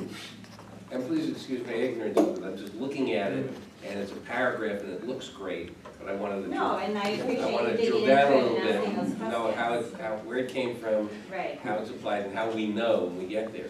Okay. yeah, thank you. Thank you. Any other comments from our board members on this first metric, that all students in our schools at Accelerated should be reading at grade level by second grade? Can I just ask one Yes. question about it? Um, I, I like the measure a lot. What, it- what does that mean for students that didn't start in kindergarten? And what percent of our kids oh, get through second grade and didn't start with us at kindergarten? That's a really good question, and it's actually, we have a very high retention rate at the lower grades. So for example, Susan has almost one hundred percent at ACES of our students matriculating to the other grade levels. Um, that would some, that would be something to think about as we start drilling down to cascading down this to all levels of the organization and different subgroups. But at first blush, we felt very comfortable to say that this is our promise to our kids in our community, that if you're starting with us at second kindergarten, that you'll be reading at grade level by second. And what do we do with students that are significantly deficient in that goal by the time they're in second grade? Do we push them forward anyway, or do we? So there are parts of the program that are, that we call intervention, so they, they would be given additional instruction in minutes so that they are meeting the goal. So first it's the goal, where is the student towards the goal, and how are we closing that, that gap? That gap analysis. Yes? And our special education students, are they going to be held to that same standard? That's another layer that we need to start thinking about, about the different subgroups and the different students. Okay, because I want to make certain that if students need accommodation or special circumstances, um, that that is absolutely addressed, so I know Dr. Baines is on that one. Okay. Thank you. The next level that we want to present is actually a success criteria that's called a growth measure. So the first one was an early literacy measure, and then the next one is a growth measure. And this one, even though you see that one hundred percent of our students will grow one year in one year's time, this is actually probably the most aggressive goal that we're gonna present to you in all of our four. Because what we know about organizations is that even though students grow, there are very few learning organizations where students do not grow, where they're receding in their learning. However, the question becomes, how much are they growing? And so the best learning organizations are able to achieve that blue line or that green line, and that blue line being one year's growth in one year's time. Now, a lot of organizations, learning organizations, they are growing their students, but they're growing at what you see as the dotted line, the lowest line, which is less than one year's growth at one year's time. So with the whole notion of what does accelerated mean, is this an aggressive goal? We want the best outcome for our kids. Our next success criteria that we would like to present to you is that all students in our organization are learning one year's growth in one year's time. And there's gonna be some metric that we introduce to that, which is minimum of fifty scale score points in ELA of nine. Bobby, we're gonna introduce Bobby and ask him to come up. He's going to share some more details about why this should be the goal in our organization and linking the tie between one year's growth in one year's time to fifty scale score points. So to give you some context on this emphasis on growth as opposed to the traditional metric of achievement, I want to give you a sense of where this fits into the big picture, not only in terms of what we're trying to achieve for our students, but also in terms of how we're being measured and assessed by outside organizations. So LAUSD is rolling out a new school performance framework this year that will be applied to all LA Unified schools and all charter schools that are overseen by LA Unified. It will look significantly different to the public than what the public is used to seeing when they look at our data over the past several years. You see here an example of a five-star system that simply rates all schools, both LAUSD and LAUSD overseen charters, as a one-star school, a two-star school, and so on up to five stars. It makes it very simple for the public to make a value judgment about whether or not this is a good school, or whether or not one school is a better school than another one. The downside to this is that it removes all the complexity out of this and allows for the public to simply look at that five-star rating without considering all the factors that feed into that. And knowing that different parents might be more interested in seeing our performance on certain metrics within that than that overarching goal. The bottom line though is that by this spring, every one of our schools, along with every other public school in Los Angeles, will have a five-star rating published on a public website. Now, I want to expose you, and this is just a beginning conversation around this, there are obviously much longer conversations to be had, but these are the metrics that will feed into that five-star rating that we will receive for each one of our schools. For elementary and middle schools, forty-five percent of that rating will be based on growth. Thirty-five percent will be based on achievement, and twenty percent will be based on school climate. I'll pause for a minute to give you a second to take a look at all of the different metrics that are used to determine those factors, and ask any questions that you might have about that. SBA is the Smarter Balance? This, yes.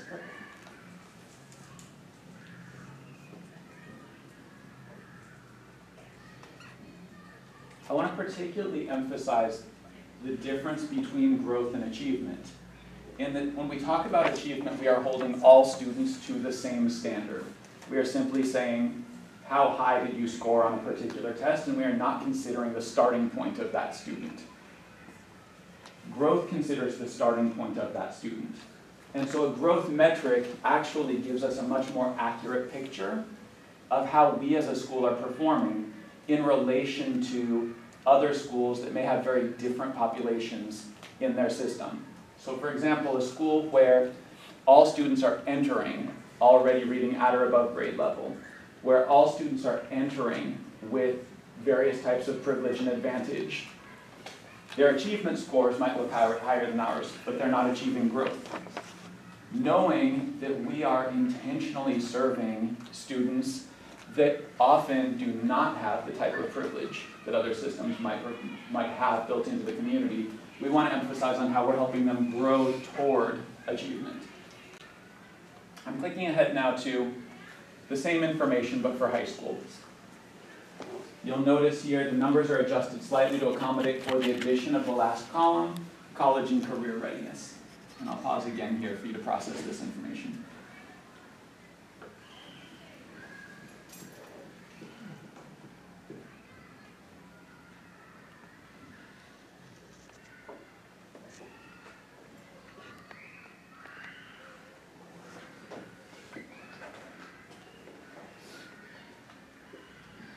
Any questions on the high school metrics?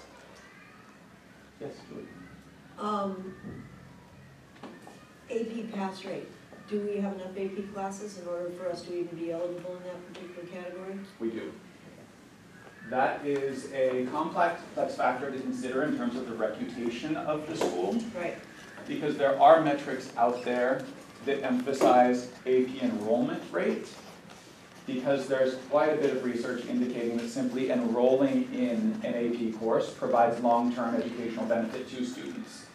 And so schools like ours have traditionally emphasized getting as many students as possible, even those who might not meet traditional prerequisites for entering an AP course into those courses to expose them to college level, really truly rigorous instruction, knowing that even if they don't pass that assessment at the end of the year, they're going to get long-term benefits. This metric, though, focusing on pass rate, ultimately will discourage schools from enrolling students who may be less prepared for those classes in those courses. So again, there are many, many very long, very in-depth discussions to be had about these metrics and how we respond to them. But this is simply what we have, and this is the information that's going to feed into this particular indicator. Okay, um, give us just a snippet on early assessment program and, and why that's part of this particular metric. Sure. Um, and just to be perfectly clear on why these are part of these metric measures, this was adopted by the LAUSD school board, and so they've had those discussions on that. So all I can say is my understanding of their thinking around that. So that EAP is essentially a college preparedness test that's there to determine the extent to which our graduates are prepared to go into on-grade level courses at universities. That's what I was looking for. Yes. So I want to emphasize the key takeaway here, which is that the largest factor in LAUSD school performance framework is growth. This is why our CEO has proposed this goal that focuses on growth, where every student will grow a minimum of 50 scale score points on the CAS in both math and ELA. I also want to share with you out where we are currently. So you see in front of you the ELA and math data for ACES.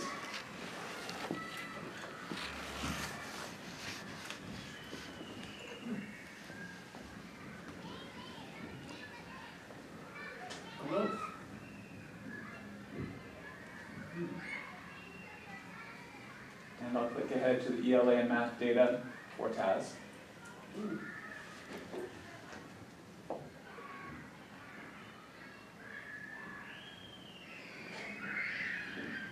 On the ELA, on um, eighteen nineteen, thirty-two percent had an increase of fifty, but sixty-two of the students are seeing positive growth, but not up to that fifty, is that what we're talking about? Exactly. Thank So you. positive, positive growth, but less growth than is, is, is expected in one year's time. Okay, Less than fifty schools. yeah. Exactly. And from what I understand, supposedly, supposedly out in the ether, every kid who's in school should grow one year without anything special happening. Generally, without anything special happening, students tend to experience significantly less than one year growth. Okay, so- So it takes what I think you could colloquially call, colloquially, colloquially, why can't I say that word? You just did. Colloquially, yes. An average quality education to generate one-year growth if all other factors are equal as well. Right. Keeping in mind that there are tons of external factors that also influence growth, including community factors, family factors, socioeconomic factors, and so on. But if you combine all things together across all communities, you could simply say an average quality education is going to generate one year's growth in one year's time. The reason this is such an aggressive goal for us and not an average goal for us is because our students, for the most part, face disadvantages that typically prevent them from achieving one year's growth in one year's time. And so it's actually a very aggressive goal for us to simply get to that point, especially when we're talking about one hundred percent of our students across all subgroups. Thank you.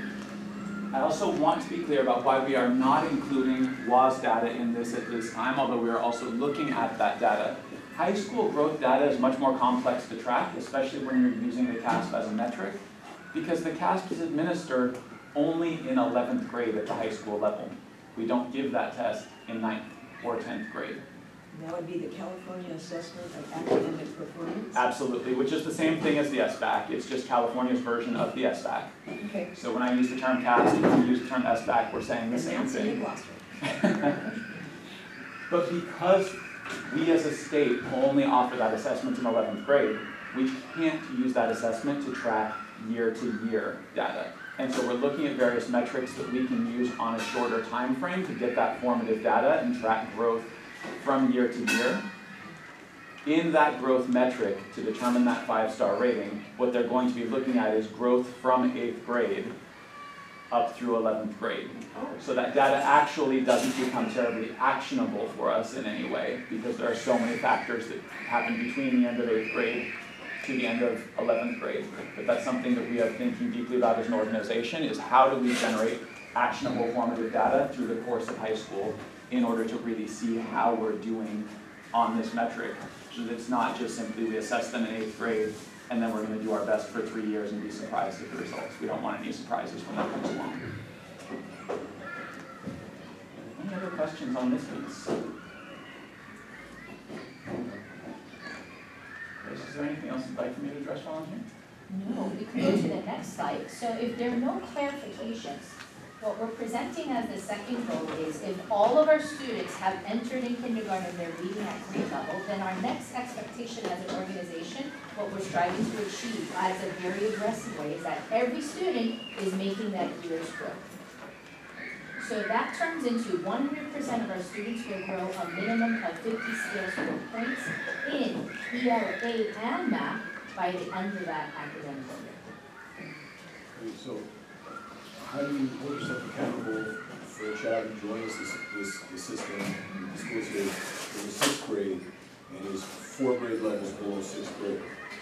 Um, if they achieve a grade a year, they'll still wind up at the end of twelfth grade with an eighth grade, uh, literacy. So you met your goal, is that, how do you address that in this process, or are you see that? I don't, I'm just going, And I, I, I'm savvy enough to know, Larry, that's a question that you want us to think about and not answer right now. That's fine with me, because it's a very hard problem, right? I mean, if children come below grade level. Right. And you get them up a grade level, you've succeeded. But, I mean, you met that goal, but at the end of the six years they were here, they're still four levels behind where they should have been. Through no fault of your own, if you will, because that's when they arrive. So, so those challenges always, always come in, and and you have to, this measure would, would be accepted, you, you you get it, okay, but it's, it's, it's a challenge. They're also gonna be harder to get at grade level growth, given those challenges like that. You know, there's just other thing, factors that affect their interest in school and. It'd be interesting to see how this goes. But this that's a, this is a great goal, I mean, I, I to just like throw a roadblock in front of you the very first second, that was, that was probably unreasonable, but it was It's a speed bump, not a road. It's, it's a, but it's a hard, hard question. Yeah. Um, Absolutely. One of the charter schools in Boston said if you raise a child in eleventh grade at the third grade level, you should give us enough money to accommodate all those years they didn't gain any learning. You know, if you're spending ten thousand a year per child, we should get ten thousand dollars times ten years, hundred thousand dollars, to get them out of high school in a year. Nobody's ever done that, of course, but there's, there's, and that's, you know, Somewhat of a thinking for Title I or, or um, I'm thinking about how you get some the system, but, but I don't know that the system can generate those kinds of resources in a model. Any other comments or feedback from our board members regarding goal number, success criteria number two? So if I were to qualify any of them, I would say this is probably the newest to our organization because we're te- we're, we're used. Bobby, you gave it to me now. I know. We're used to having discussions on achievement, about college and career readiness and where, where are they going and how are they doing afterwards. This is probably the biggest, hairiest, most audacious goal for us. And then also transforming our learning organization in par with, um, international organizations that are doing well, they're meeting this. Now, what's interesting to note is, we don't like to use averages, but on average, are we accelerating our students? Absolutely, but our average tends to be just right below that one year's growth in one year's time. So by the time that they're in ninth and tenth grade, now all those factors are catching up with them. The next one is success criteria number three, what you're most familiar with, and this is our end goal, this is our achievement goal, because this is now the end of the pipeline at our high school. And this one, we would like to introduce two new terms to you.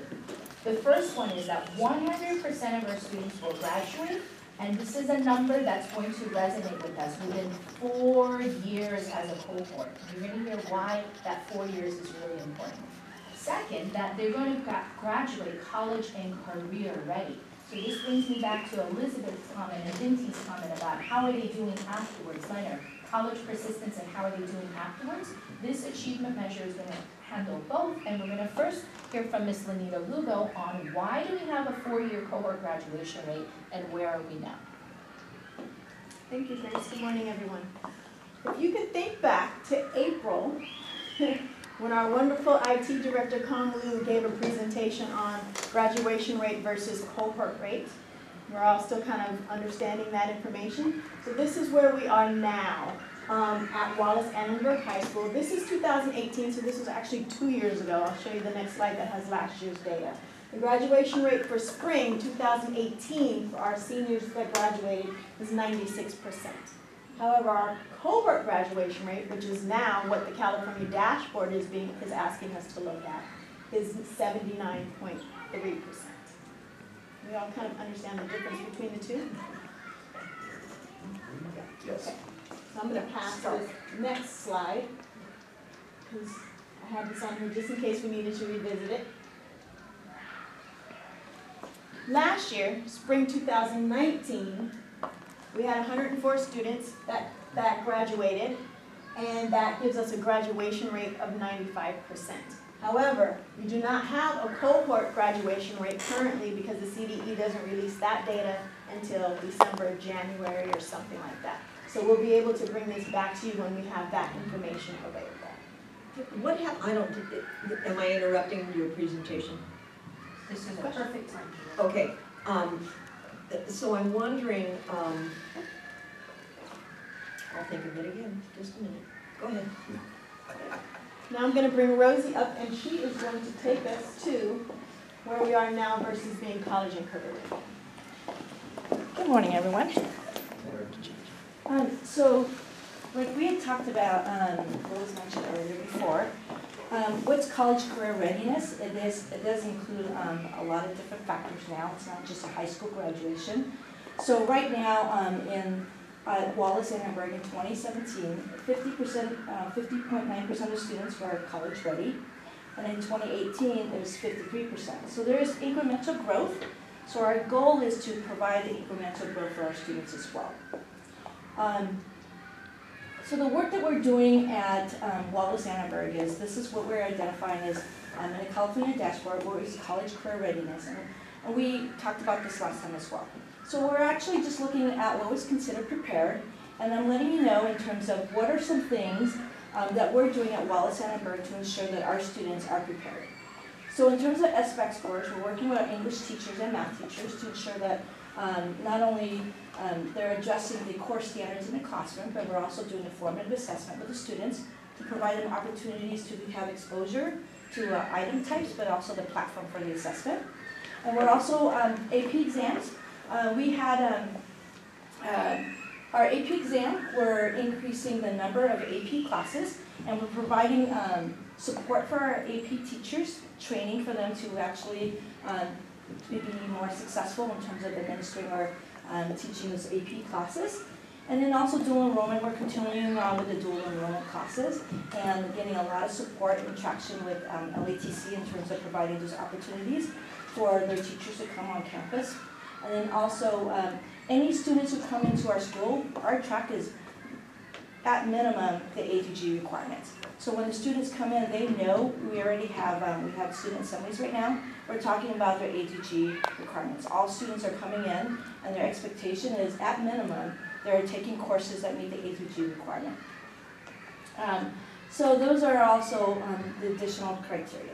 So I'm just gonna give you a minute to look at that. But those are all the things that we're actually doing at Wallis Annenberg High School in terms of preparing our students um, to be college career ready. I remembered what I was gonna ask.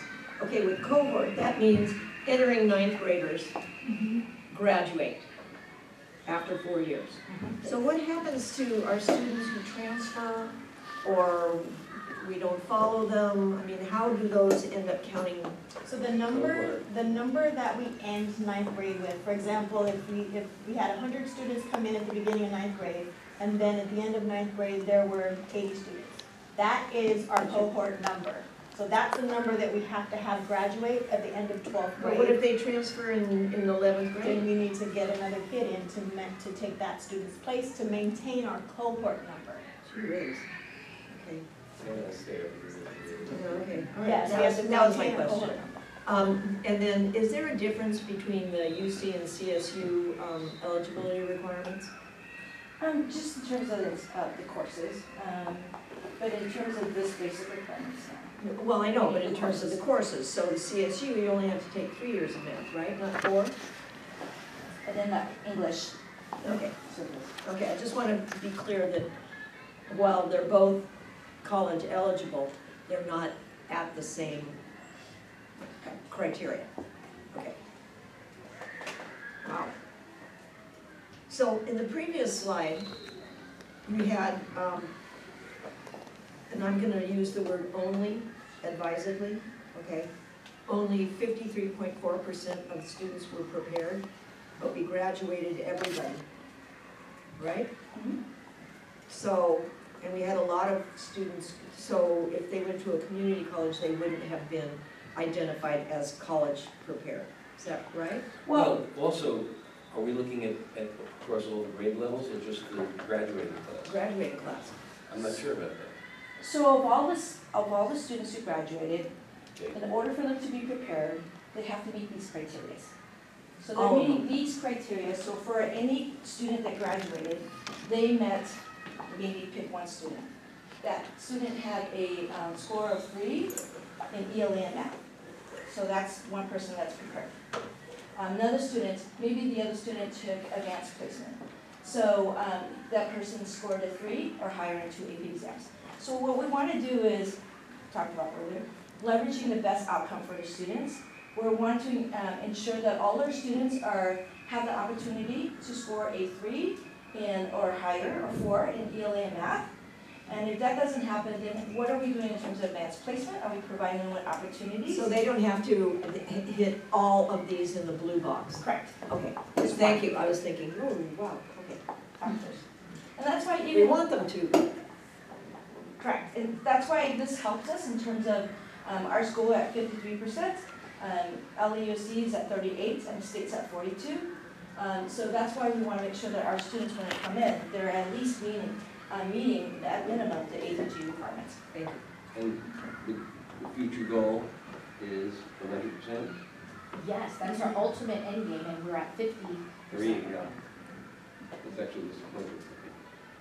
No, no, no, but compared to, I mean, I know we want to be better. Right. And I know that generally, fifty some odd percent is not as good as hundred percent, but fifty-three percent compared to the, the peers that we just heard about, we're better than everybody else. It does. I'm not, I, listen, I'm not It doesn't meet arguing our with you. statement. I- I- I- That's why we're accelerating. Right. That's, That's why we're hey, Leonard, accelerating. Leonard, that's why our goal is hundred percent. Right. But, but in terms of thinking about growth and having a growth mindset, Yeah. we are ahead of the game as compared to everybody else. So I- it should I be, it it. should be more, it should be uh, easier for us to achieve hundred percent than any of our peers, because we're already better off. I think that's the point. This is one of our first meetings where we're really not patting ourselves on the back. I agree. And, which is a good thing. It's a good Yes. thing. Because we're a college readiness school. You And, yeah. If, if you've seen, if you've seen anything, a level of rigor, right? You heard Francis talk about it. We have a level of rigor around our academic and educational product that we've asked to be a focus as a board that is now a front and center focus. That's all, that's all a good thing. Good stuff. Okay. I'm channeling my innermost Julie Grace right now.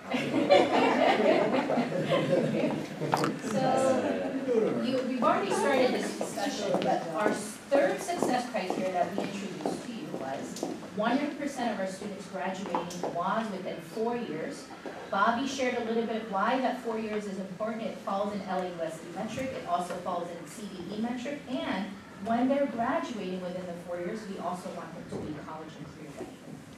Any of the other board members would like to provide perspective that we haven't heard from? Is this the measure?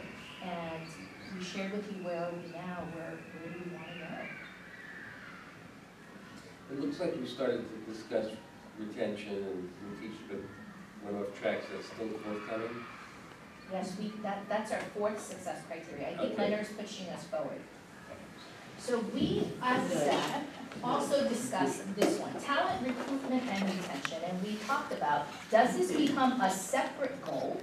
Or similar to the conversation that we had where you subordinated facilities under accelerating student learning. And as we discussed it, we felt that this goal needs to be subordinated under student learning outcomes because how do we get there is with high quality talent. And one of the things that Bob's gonna introduce, Rob's gonna introduce, is this notion of retention versus high quality talent retention, because those are two separate things. So the success criteria we'd like to introduce to you is ninety-five percent of retention of high quality talent. One of the statistics that I brought to the board was usually California, the average is ninety percent teacher retention in school districts. However, we also know internationally, at those organizations that are meeting beyond one year's growth in one year's time, the retention is above ninety-five percent.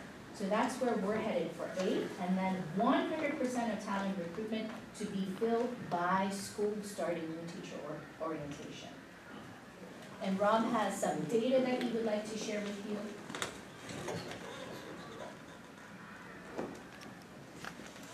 Okay, so this is our data on retention, this is for the, the teacher retention for the last two years, so 17, 18, 18, 19.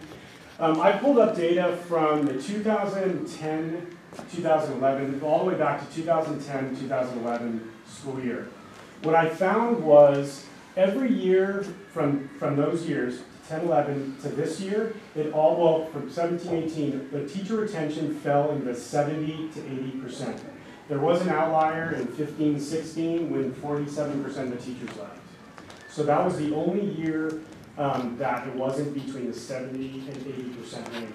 If you look at this between um, 17 and 18, um, you'll see that it's very similar with ACEs um, and ta- TAS. Yeah, you'll see it's very similar.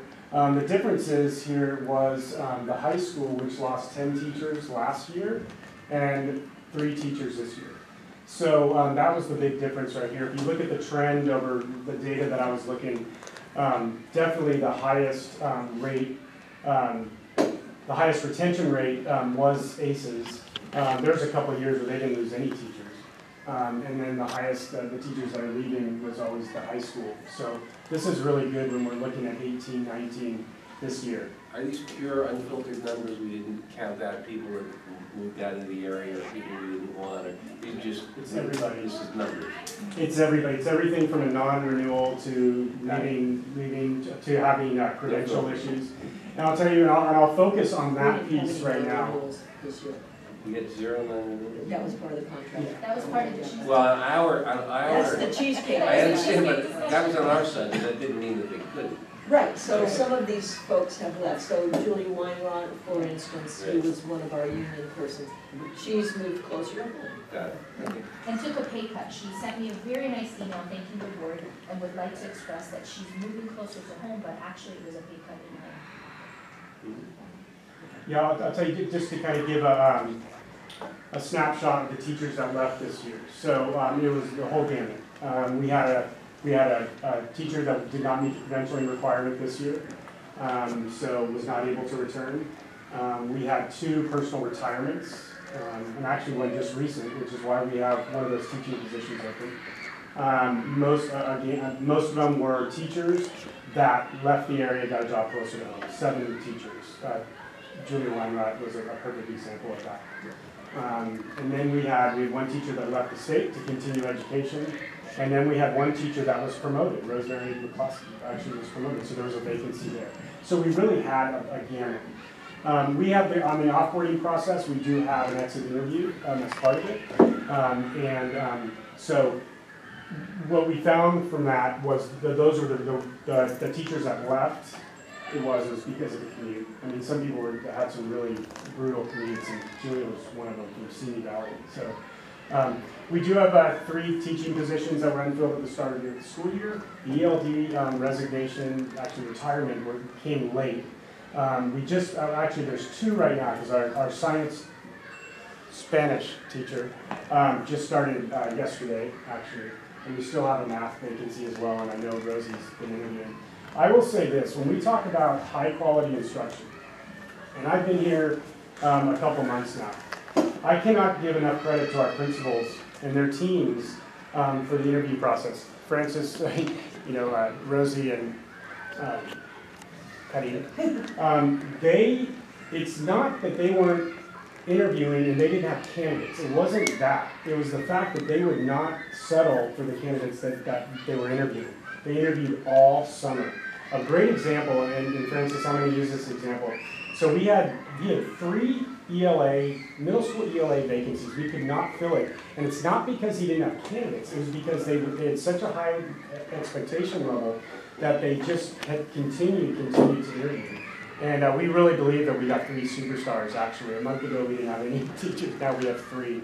And, and that, that's just an example, but um, when we're talking about high-quality instruction, um, we do, the, the bar is up here. Um, we are not settling, and that's, that's, you know, and, and Rosie, that was an example, I mean, we, we just, we filled that Spanish um, position um, just recently, but we weren't gonna settle for, for teachers that we didn't feel that was, um, was not high quality, so. Was compensation an issue during the process, but you feel that our compensation levels are such that we can attract high-quality educators? It, it became an issue a couple times, yes, it did, it did become an issue, yeah. Yeah, we had, we had several teachers that, uh, yeah, did not accept the position. In what category? Well, at ELA, that, that, yeah, that ELA, uh, middle school ELA, which is usually, well, it is a difficult position to fill, any middle school position. Is there any recommendation about that? Should we be offering more? or- So, um, Bonus. He's gonna talk about I'll that. speak to that in a second, but just to jump ahead of it, we were able to successfully, uh, market the fact that we have a retention bonus Right. for our CBA, which actually helped. And we, uh, um, we had a signing bonus, um, as an incentive for them to sign. So, uh, those factors all combined to a successful hiring. Yeah, absolutely, absolutely. It helped a lot. It did, yeah, absolutely. Anyone have any questions on this?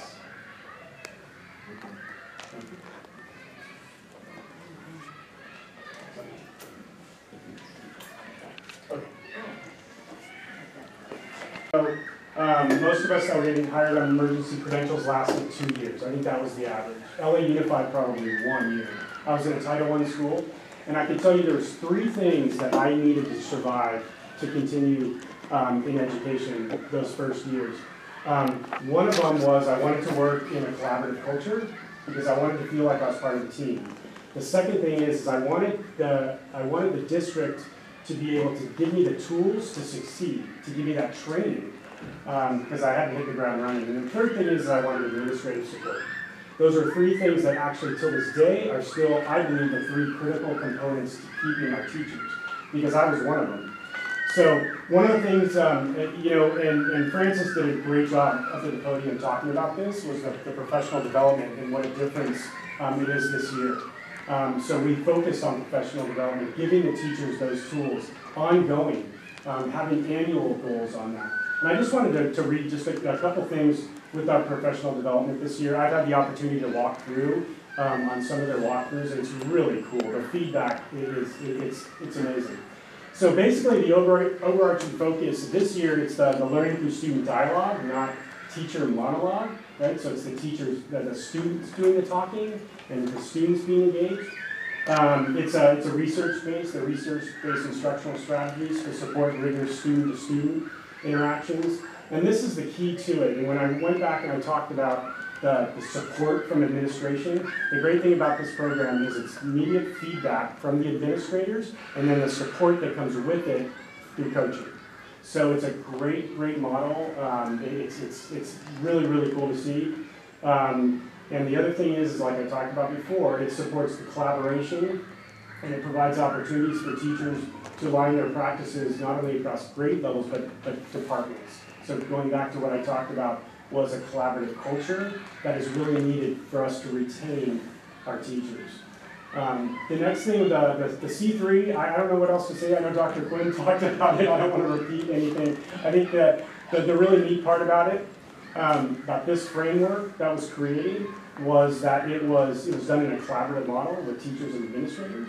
Um, and it, it's focused on dialogue, right? It's much more on dialogue than a punitive evaluation system because anybody who's been um, a teacher, anybody who's been a principal, you know the most important thing um, as far as teacher performance is an effective evaluation process. So um, it's really exciting that, that we're that we're putting that together, and I can't emphasize enough how how really outstanding that it is that was done in a collaborative model and it's, and it's based on dialogue. Um, employee recognition, um, that's been a big focus um, as, as far as setting our goals this year. Um, and it's the, the most important piece of this is the ongoing employee recognition. Instead of doing the beginning of the year, we did, we gave the teachers these really cool water bottles and all, you know, all that, and we have other things planned. Um, and then doing maybe like a winter thing, something like that, and then the end of the year. Um, our, our goal as an organization is to do it continuously throughout the year. So um, well, one of the things that, that we're going to do, you know, instead of doing uh, employee of the year, you know, classified employee of the year, teacher of the year, we're looking at doing it monthly, actually, to recognize our employees monthly. Um, the other thing is, is um, we actually, each department actually took a month to do something to um, recognize our employees. So we're going to do it throughout the, the year, right? Human Resources last September, we're still coming up with some ideas of what we're gonna do, you know, either put something in the, teacher's line, we're still in the planning stages of that. But the, the idea is, is to, to recognize our employees throughout the year. And that is a, that's a goal, um, that we're doing. So, to Thank you. So just, uh, uh, piggyback on Rob, uh, our operation team consists of human resources, business, IT, facilities, and we're coming together as a belief that we are here to support the school. We're not here to run the school, we're here to support the school. So we're reading this book, um, I forgot the name of the book. Creating an extraordinary Best place to work. Yes, best place to work, Best thank you, place Tom. So we're really taking some ideas to see how we can implement that to really build culture in the school. Um, which, uh, again, employee recognition is part of it, but also really to think outside the box of- of- and going beyond compensation. Obviously, money helps, it, it does, it's probably the number one reason why people want to work is. Uh, but we're also looking at things, additional things, like the signing bonus, the referral bonus. Um, one thing that we also did uh, different this year, we're, we're looking at providing unique benefits to not only the teachers, but also to all employees. So we made a radical shift in, in, in a decision process this year.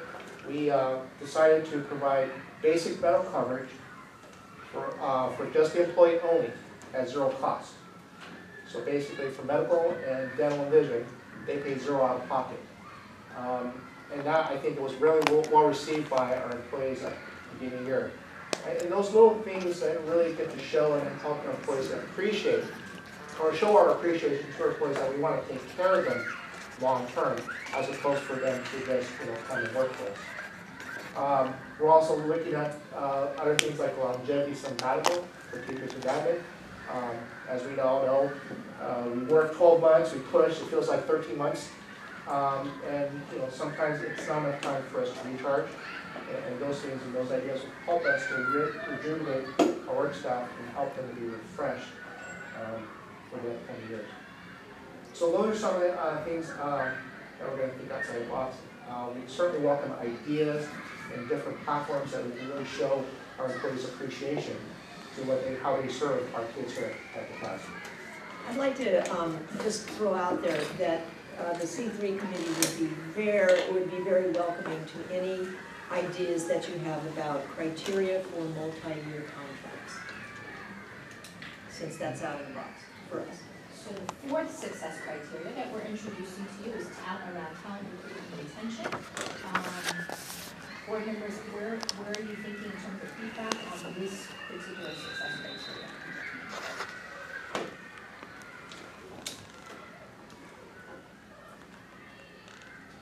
Are we headed in the right direction?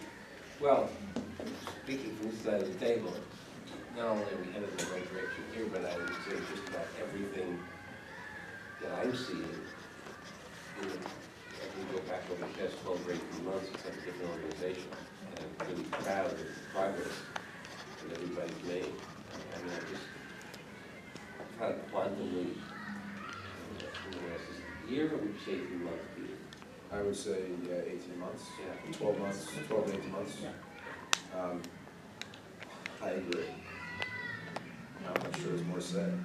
Yeah, professionalism of the organization and, uh, commitment, it's great to see. Increase in talent, increase in transparency, uh, data-driven, intentional, thoughtful, measured, holding ourselves accountable. Thank you for expressing that verbally, publicly, because I know our staff is working very hard on office hours, and we're really coming together as a team, so we really appreciate that. Yeah, the teamwork. Teamwork shows. So to summer, I'm yes? sorry, Grace, I'll add some more to that. I, I add that the specific kind of uh, shift to the hiring juncture, rather than, let's try to help everybody later, is a mm-hmm. very welcome shift, because it, it, that, that's a good juncture to be filtering, you know, and I appreciate the specifics that you offered about working with the principals to, to make that happen. I think we can also incentivize by, and, and reward people.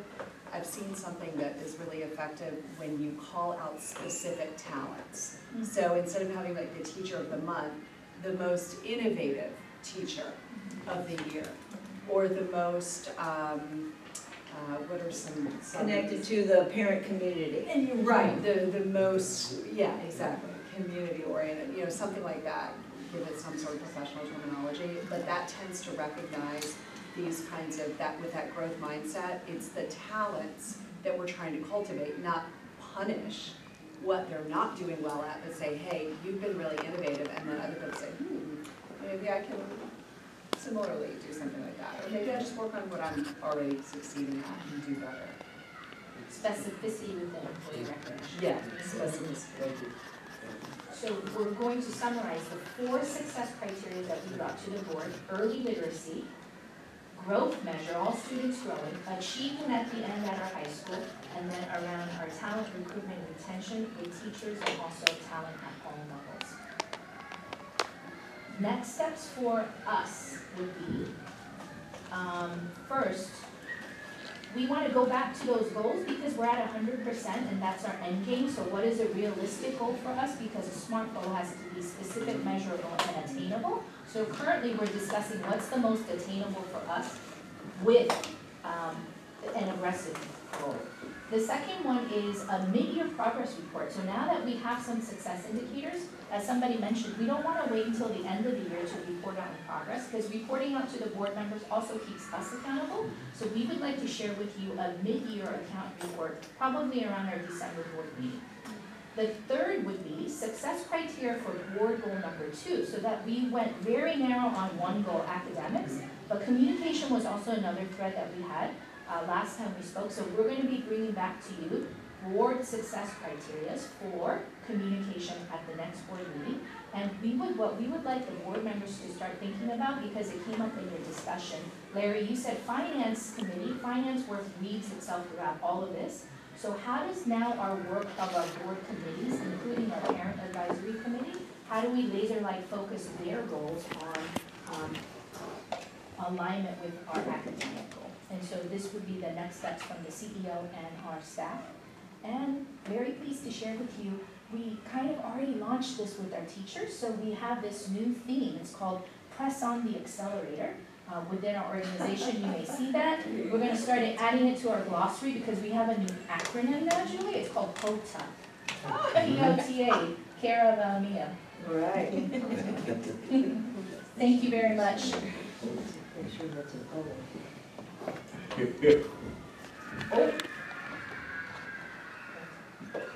Okay.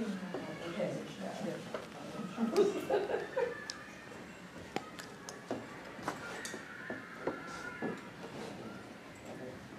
didn't realize I was very near the screen. Next time I'll move over this. We don't have to screen.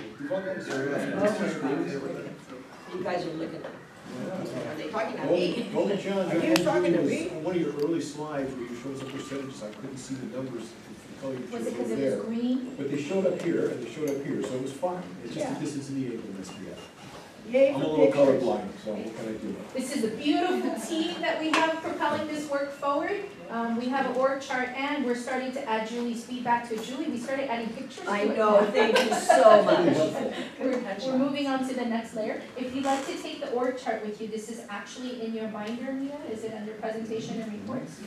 Yep. And we'll be sharing, uh, more with that. Then Tom, would you mind sharing with them briefly about the website and taking any feedback from our board members on our website?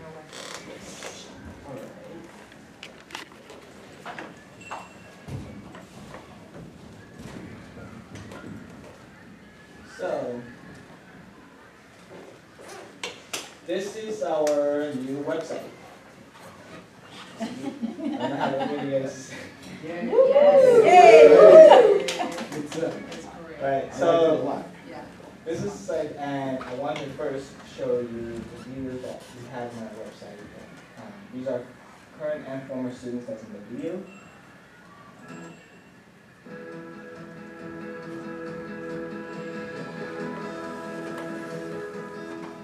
The dual language immersion program at USIS really helped build this foundation where I can now converse about all the subjects I love in English and Spanish.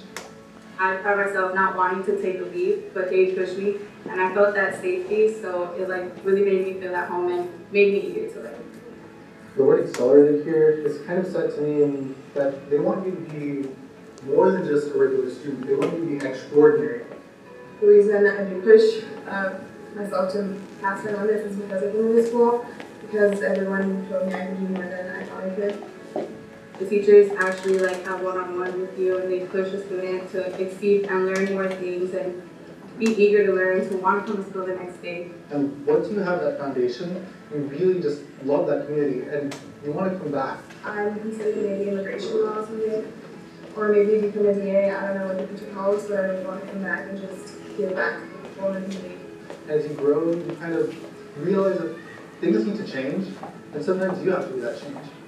At the accelerated school, you really, your teachers really help you to find your limits and then to step beyond them.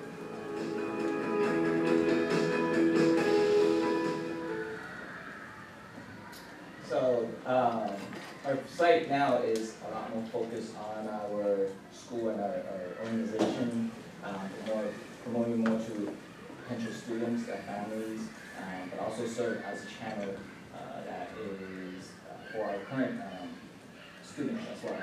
So these are the areas, um, so we have family resource, uh, we have calendars now with all the school events uh, listed, uh, here. But this is a global view, uh, where you go to each school, you will see the events here, where uh, parents or anybody can check. Um, So, who keeps it current? Excuse me? Who keeps it current? Right now, um, Melina and Kong and Mia. All the uh, information now from the board is in the family download and link section. So you will see board meeting materials, that's where you will find uh, all the board meeting materials now. Uh, when you see the You did? Yes, I did, very easily. Can we go back to, um, Peter's, um, Board of Trustees? Go, go back. Yeah, I think more his about firm name is missing, missing something. Yeah, it is. Did we get it right? No. Oh, yeah, there it is. Did you guys fix it? since- You did, okay, you did. That's a brand new question. So, yeah, just, uh, take off add associates. Okay. That's okay. Other than that, it's great. Miss Gadden was missing last night. Yeah, yeah. Yeah, just no, One add- thing- no add associates, but everything else is great. That I, Thank you. you know, I, I mentioned this when we sent this to Lisa, release on, it, is we don't have the, our donors here. And every organization that, you know, accepts donations Yes. typically has their federal donors listed. Yes, And I don't see it, and I think it's wrong. yes. Um, so I will be meeting with them, um, to replenish our website. Right. I pushed back twice on that, and, um, the professional recommendation was, if we're doing some more work with fundraising, that the donor list, when we put it on our website, that we look too well endowed. That look may- to, I'm sorry? we look too well-funded, that it would actually distract other people from wanting I to. think it's ridiculous. It- it- you know, Every organization you look at, eh, I think people like to, it also validates the fact, some of the donors we have, it's not because we had a big party somewhere in Hollywood Yes. and Brad Pitt was there. We have donors that put us through a rigorous evaluation. Yes, And you have Wells Fargo, you have Annenberg, uh, I've been with us for years. yes. That's not Greece's recommendation, that was actually the professional recommendation from. I mean, I, I don't know how the rest of the board feels, but I think we need, to, you know, we, we should correct that. But that, it should be solved through language. Um, I mean, why do they have, why does it have to be called, why do we have to describe it or characterize it as well-funded? It can just be, you know, a thing. Well, we're not gonna say we're well funded, but yes, we, we want to thank our Thank donors. our donors. Absolutely, you should use the Yeah. I, I mean, I feel like, Without giving that impression. you know, if, if, for instance, if, we- if we do go at both parishes in Africa. Yeah, yeah. If we, if we go to them and, and they give us a, a significant gift, I think their expectation is that they're gonna be listed. Can we start with, can we start with, um, our funders without the dollar amount? I think that was also a big red flag from, um, Molina. Let's look at what other like organizations are doing and, and, and see, if you want me in on the conversation, I would, yes, I don't think we have to much. put dollar amounts, but, you know, typically, whether you walk into a hospital or, or, you know, a theater, you know, you see categories of people. Yeah, I mean, it could be by category. Yeah, and Organization. we'll List with the amounts we can direct. Right. Any other feedback on our website? Yay. But we can't get into the student or uh, staff section, but from what I'm seeing, it looks good, it's a big improvement. Well, if our pictures are gonna be up there, would the board of trustees mind if we took their pictures at our next board meeting to have up on our website as well? Glad you mentioned that, so that'll be October. So, you know, everyone, we're, we're into black. Can we provide pictures, or do you want some consistency in the back? Um, we, none of us got a peek at our headshots, it was, it was all curated. Well, that's you. It's like a- Yeah. I sent you a photo. Thank you. Yeah.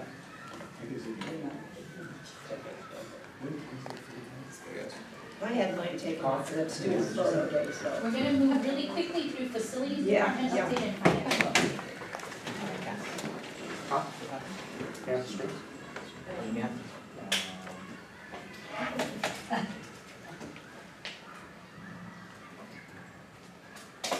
Thanks for providing the folder at the end so I can pull out my things and not have to take the notebook with me.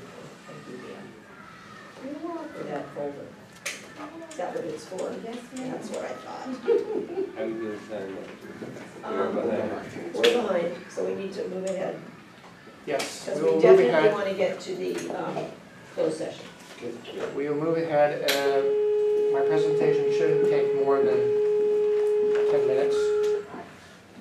I'm having, uh, can I email to you? or Should I email this to you? You want to cast back in town? So this one? This is this way. Got it. Thank you, Conrad.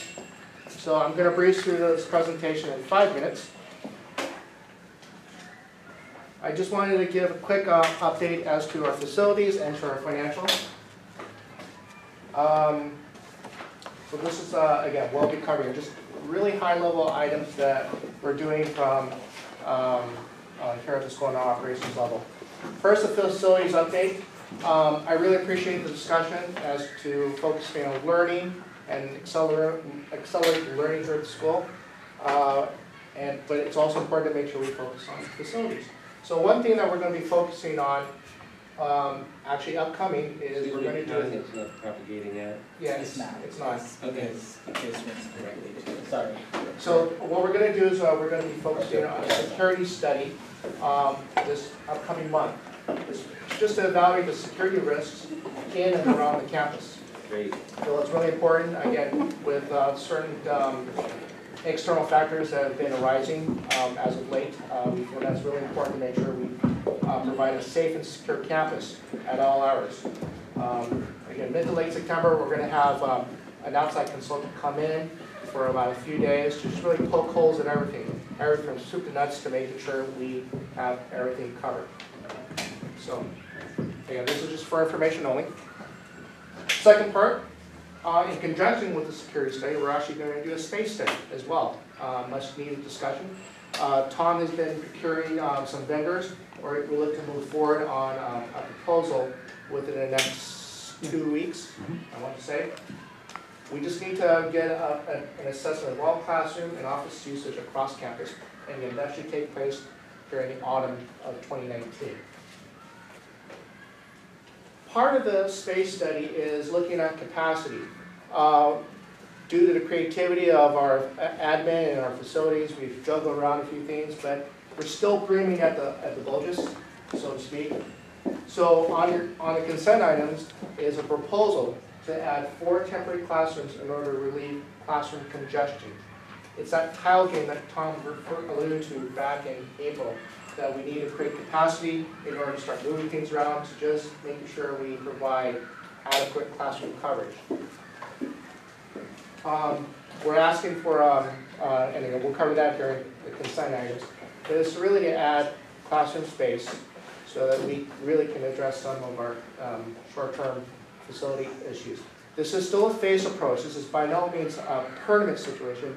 We just need to make sure we have four classrooms on the empty lot by Woodlawn, so we can look at the space study, then we can redesign our space, and then hopefully have a longer-term plan as to adding more permanent structures um, in and around the campus. So. It seemed like it was a very big number for a permanent, and, and also then used the term rental.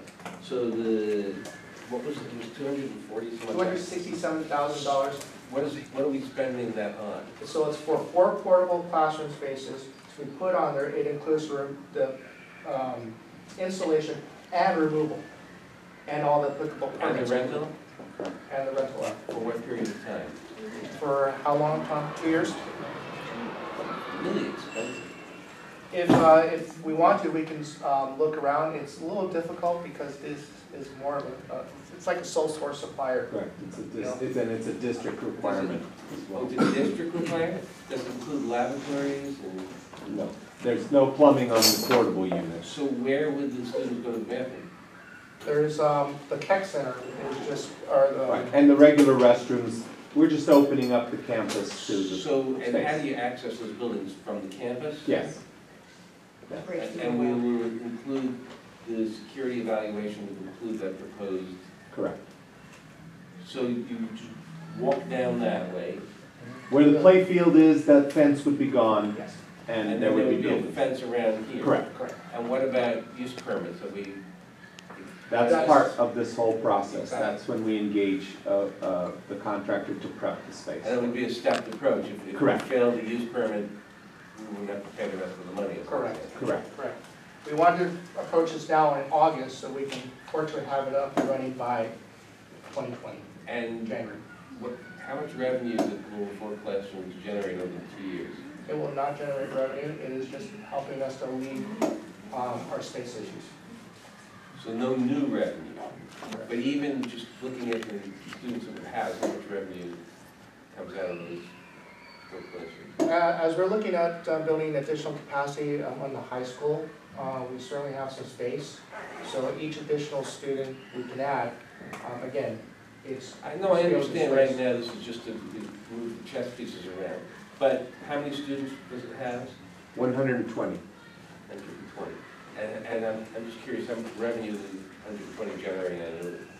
Have you done that? So that's uh, multiplied by twelve, a hundred, or about a million. Million four. So, uh, we And, can, and one, I guess one last question, Can- is it proposed that they're just single story? Yes. Is there a reason why we're not doing two stories?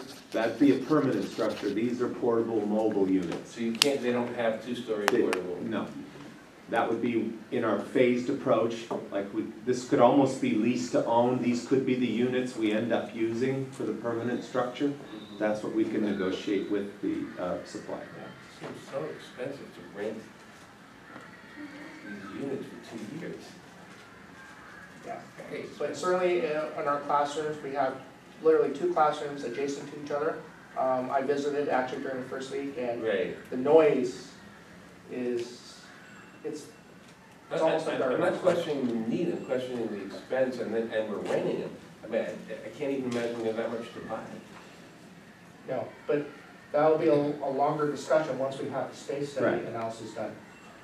But can we, can we do a partial approval to approve, to initiate the process of getting, making sure we can get the permits, and also to study um, alternatives to this expense that, that seems very high for what it is? Certainly. And- and- Yeah, certainly. Do you think I'm wrong about the expense? No, that, that's where we need your expertise. Certainly, uh, we don't need to pay the full amount.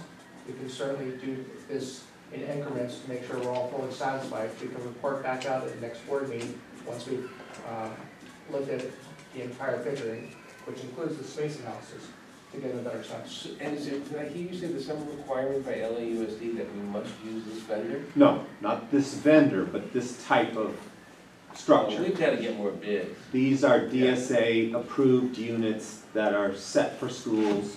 Uh, There were three companies that I interviewed. This was the only one that could, that could produce and develop. They use, they don't build these to suit or they become more expensive. These are existing units that companies have. We had strict criteria. They needed to be 25 to 30 by 40 feet. You know, all of our criteria was met by that. Um, Yeah, this is, it's, it's it's got a rarefied group. just got to, you know, spend a little more time. Right, but again, like I say, these could be the actual units that we permanently set on that parcel. We're just not determined yet whether we're gonna be one parcel or two parcels, uh, how our layout is gonna be. Or Single, do we want, is that what we, the kind of housing, or, you know, the kind of collections we want? In, in the end, we probably want to build, maybe we could build, you know, two stories. that's about twice the cost. We did the analysis, yeah. I understand, but we don't need more land. Correct. So So we could do these two-story, we could get eight units on that one parcel. But And not- these, these but would not- be the not units. This particular type and not renting. Correct. Or we could build a building. If we bought eight of these units and encased them in a, like we did, like they did on the D buildings for the WAS classrooms, those are portable modular units that have been encased in a permanent structure. Right. We could do that, they're thirty-six thousand dollars a piece. So if they're thirty-six thousand dollars a piece, why are we paying two hundred and sixty thousand dollars for two of them? No, no, no, Four. they're, uh, it, it- Per classroom, per classroom, So we, we're getting four units. correct. for two years. But they're thirty-six thousand dollars a piece, the math's not working out. That's hundred and twenty thousand dollars, yeah, for, Yeah, but you to said we own them. could buy them for thirty-six thousand, did you say we Correct. could buy these things? for We could buy four of them for about hundred and forty-some thousand dollars, or we rent them, four of them, for hundred and twenty thousand dollars a year. But what do we do with them if we don't, if our expansion plan doesn't? Get rid of them. Can we sell them? That's a very Yeah, difficult. I, I How don't know. if we donate? sell Yeah, we give them away. Yeah, I mean, I, it makes no sense to All right. spend two sixty when we could. I got it, I got it. So let me, can I ask, uh, so, um, given that it sound, it, it, look, you've spoken to three companies. It sounds like one of the three is capable of getting us. meeting our, meeting our needs. Right, the other two can't, regardless of the price, right? Correct, correct. Are there other companies that we can go and talk I, to? I, ex- I looked everywhere. And there is, It's so that- very that's, that's, limited. that's part of For the. Southern California, yeah, it's very limited. Okay. Uh, if we don't approve this consent item, what does that do to your timeline to have these up and running by January twenty twenty? It'd be very tough. We would push it to summer of next year. What about buying them?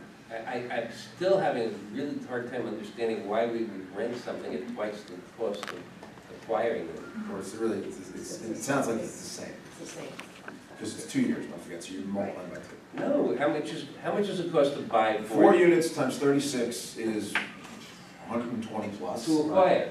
Right, and then it's two years, oh, to acquire, that's true, actually. That's what I'm Yeah. Because then we have. Then you own them. No, you're right, so, Why what- would yeah, so that's, you know what, you're actually right. Shockingly. Um,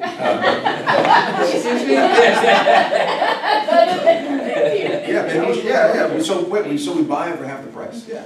Why would we rent something for twice? the Okay, price? we're going around, we've I'm heard the hearing this same as thing three times, I'm so- hearing this as a bring back item from staff. No, he's right. It's a bring back item. It's, we'll bring it back at the next board. But on the other hand, can we give them consent if they can acquire them for hundred and twenty, which let them do it? We can, it's just again, what, we don't have a long-term strategic plan. Uh, we need to address short-term facility Right. needs right now. If the, if we Let's do buy those consent to suckers. buy, we could certainly look at it and then bring this up, um, perhaps at the, uh. It would be next- much easier to go to the district with that proposal than simply, we're not sure yet. Right. If we buy them, we got them, we'll deal with them. What's the downside to buying them? That we can't use them for some reason, or we use them and then we gotta get rid of them? Actually, Just getting rid of four out of our five options include those units, so we're really good on it. I would feel very comfortable buying them. What, if you buy them for thirty-six thousand apiece, is, you still have to pay to get them installed, or Correct. include installation? Yeah, there's site preparation and all of that. it's- But, and the two hundred and sixty-seven included all that? Correct. Okay, so, so four times thirty-six isn't the cost of buying them, it's more. Yeah, probably would add another Right, five. but still, it's gonna, still gonna be less than the cost of renting them. Yes. It'll come up Okay. roughly the same. We just don't have to deal with the- any of the uh, depreciation and disposal. Right. If I may recommend, we- our next board meeting is in September. I think we're gonna need to bring this back so that we have more information for you at consent. I just don't wanna hurt their timeline. Sure, no, the, the timeline is aggressive to be spring anyway. Um, mid-year is, is always aggressive. Next summer, we would feel very comfortable having them in place by then. Here's the other thing, if, if you guys can do a little bit of a deeper dive on the financial impact analysis, there's nothing that stops us from having a special board meeting to consider Sure. it if you wanna accelerate the timeline. Sure. So, we don't have to actually wait till September if you guys can get it done, we can all get on a phone call. Yeah, Thank you. absolutely. Speaking of financials, uh, I'm just gonna bring this really quickly. These are the unaudited financials that were reported to LUC, uh, this past couple weeks. These are, I'm just gonna breeze through this because they're not final. In fact, our auditors are here, uh, this week, uh, looking at everything to finalize that final number. But, uh, I'm just pleased to report that although we are, um, significantly behind budget, we are still fiscally sound. Everything I've disclosed in the previous board meetings still holds true. Uh, the work stoppage, uh, sped costs, nothing's really changed since the last board meeting. Do you have a copy of that in here? Yes. You do. Should be under the, yeah. Okay. So the auditors are here now, The auditors are here. And who's on the audit committee, at this point, myself and, Vicki still on it? I believe so. And let us know when we need to, These were on the website as well. Yeah. The board packets do, Thank do you. get posted. Yes. So uh, probably by the end of this week, once I wrap up with the auditors, I'll have uh, something to report out. Any questions uh, regarding the financials? Again, these are just unaudited numbers. These will change once we uh, finalize the audit. Vincent, when does XED start doing the financial reports? Thank you. The uh, XED actually started as of January 1st, uh, July 1st, I'm sorry. Um, They uh, have started doing our payables. Um, We're uh, transitioning on to do the rest of the accounting. Um, So by the next board meeting, uh, formal board meeting in October, they should be here to report out first quarter results.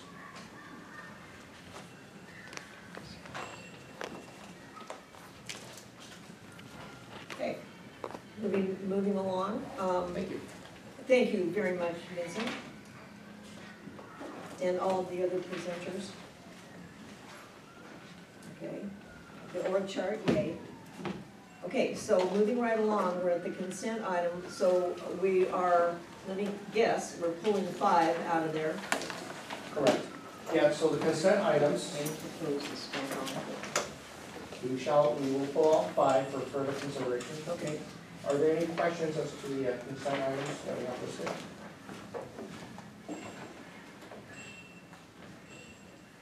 These need to be approved, so I need a a motion. payroll provider?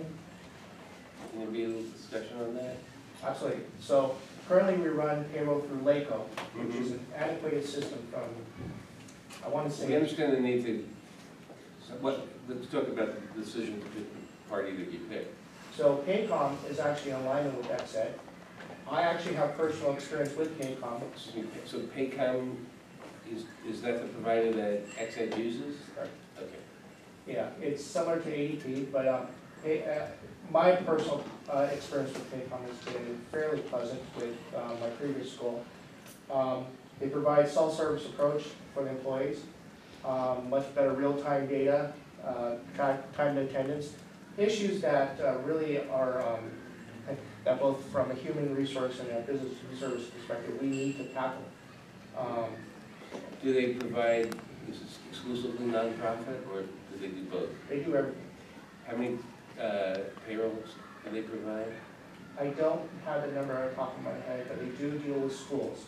Um, I know with XED, uh, working with Paycom, they have roughly a dozen, I wanna say. So it's like a hundred thousand plus, or, you know, Uh, ADP's employees? in in the millions, yeah. Would, would these topics be something for the audit committee or the finance committee? No, I you're being asked to vote on it, and, and. I know, but if a committee has addressed it before the board, we can get recommendations from you rather than Might have been questions. helpful, but we're here, so, so, um, and, and, the- and the cost compared to Lincoln? Uh, LACOE's roughly, I want to say twelve to fifteen thousand, Right, whereas here we're looking at forty, forty-eight, forty-five thousand. and the reason we're using them rather than having XED do it, Because, uh, LACOE does a num, LACOE's been able to tackle the CalSTRS issue. right? you know, whereas Paycom, it's a little bit cumbersome, but they've been a- managed to, able to provide that inter- interaction with CalSTRS. Uh, plus, it's a much better platform, whereas Lake's still DOS-based. No, I mean, the reason, Why are not, we not the reason we taking it let instead everything back with Lakeland, why are we going independently to this vendor as opposed to doing it through XED? Um, It's actually been something I've been thinking about previous for discussion with XED. Right, Um, and at the same time, it, it allows us to have a better flexibility, um, whereas, um, it removes that extra third-party coordination. We can, uh, deal payroll on a much more flexible, real-time basis. So if an employee needs a check or an employee needs, we can deal with it directly. And have we checked how much it would cost us to use them under the umbrella of XED? Maybe Maybe roughly the same, it's the same, you sure about that? because the costs are the same. And XED, are they providing our CalSTRS information They're not? That's not part of the contract. If we ever had to migrate, that would be pretty simple, it's the same company. If we need to. And you you get some other bids? I've tried, I've reached out to two other companies, and surprisingly, I have not gotten a response back. I noticed that you wrote that, that you're most confident with this firm. I'm confident because of my previous experience. Um, I showed it to the staff, actually previous to Rob, and uh, again, just everything what we can do, electronic onboarding, time and attendance, it's actually things that we need desperately. Total number of employees will be Two hundred. two hundred.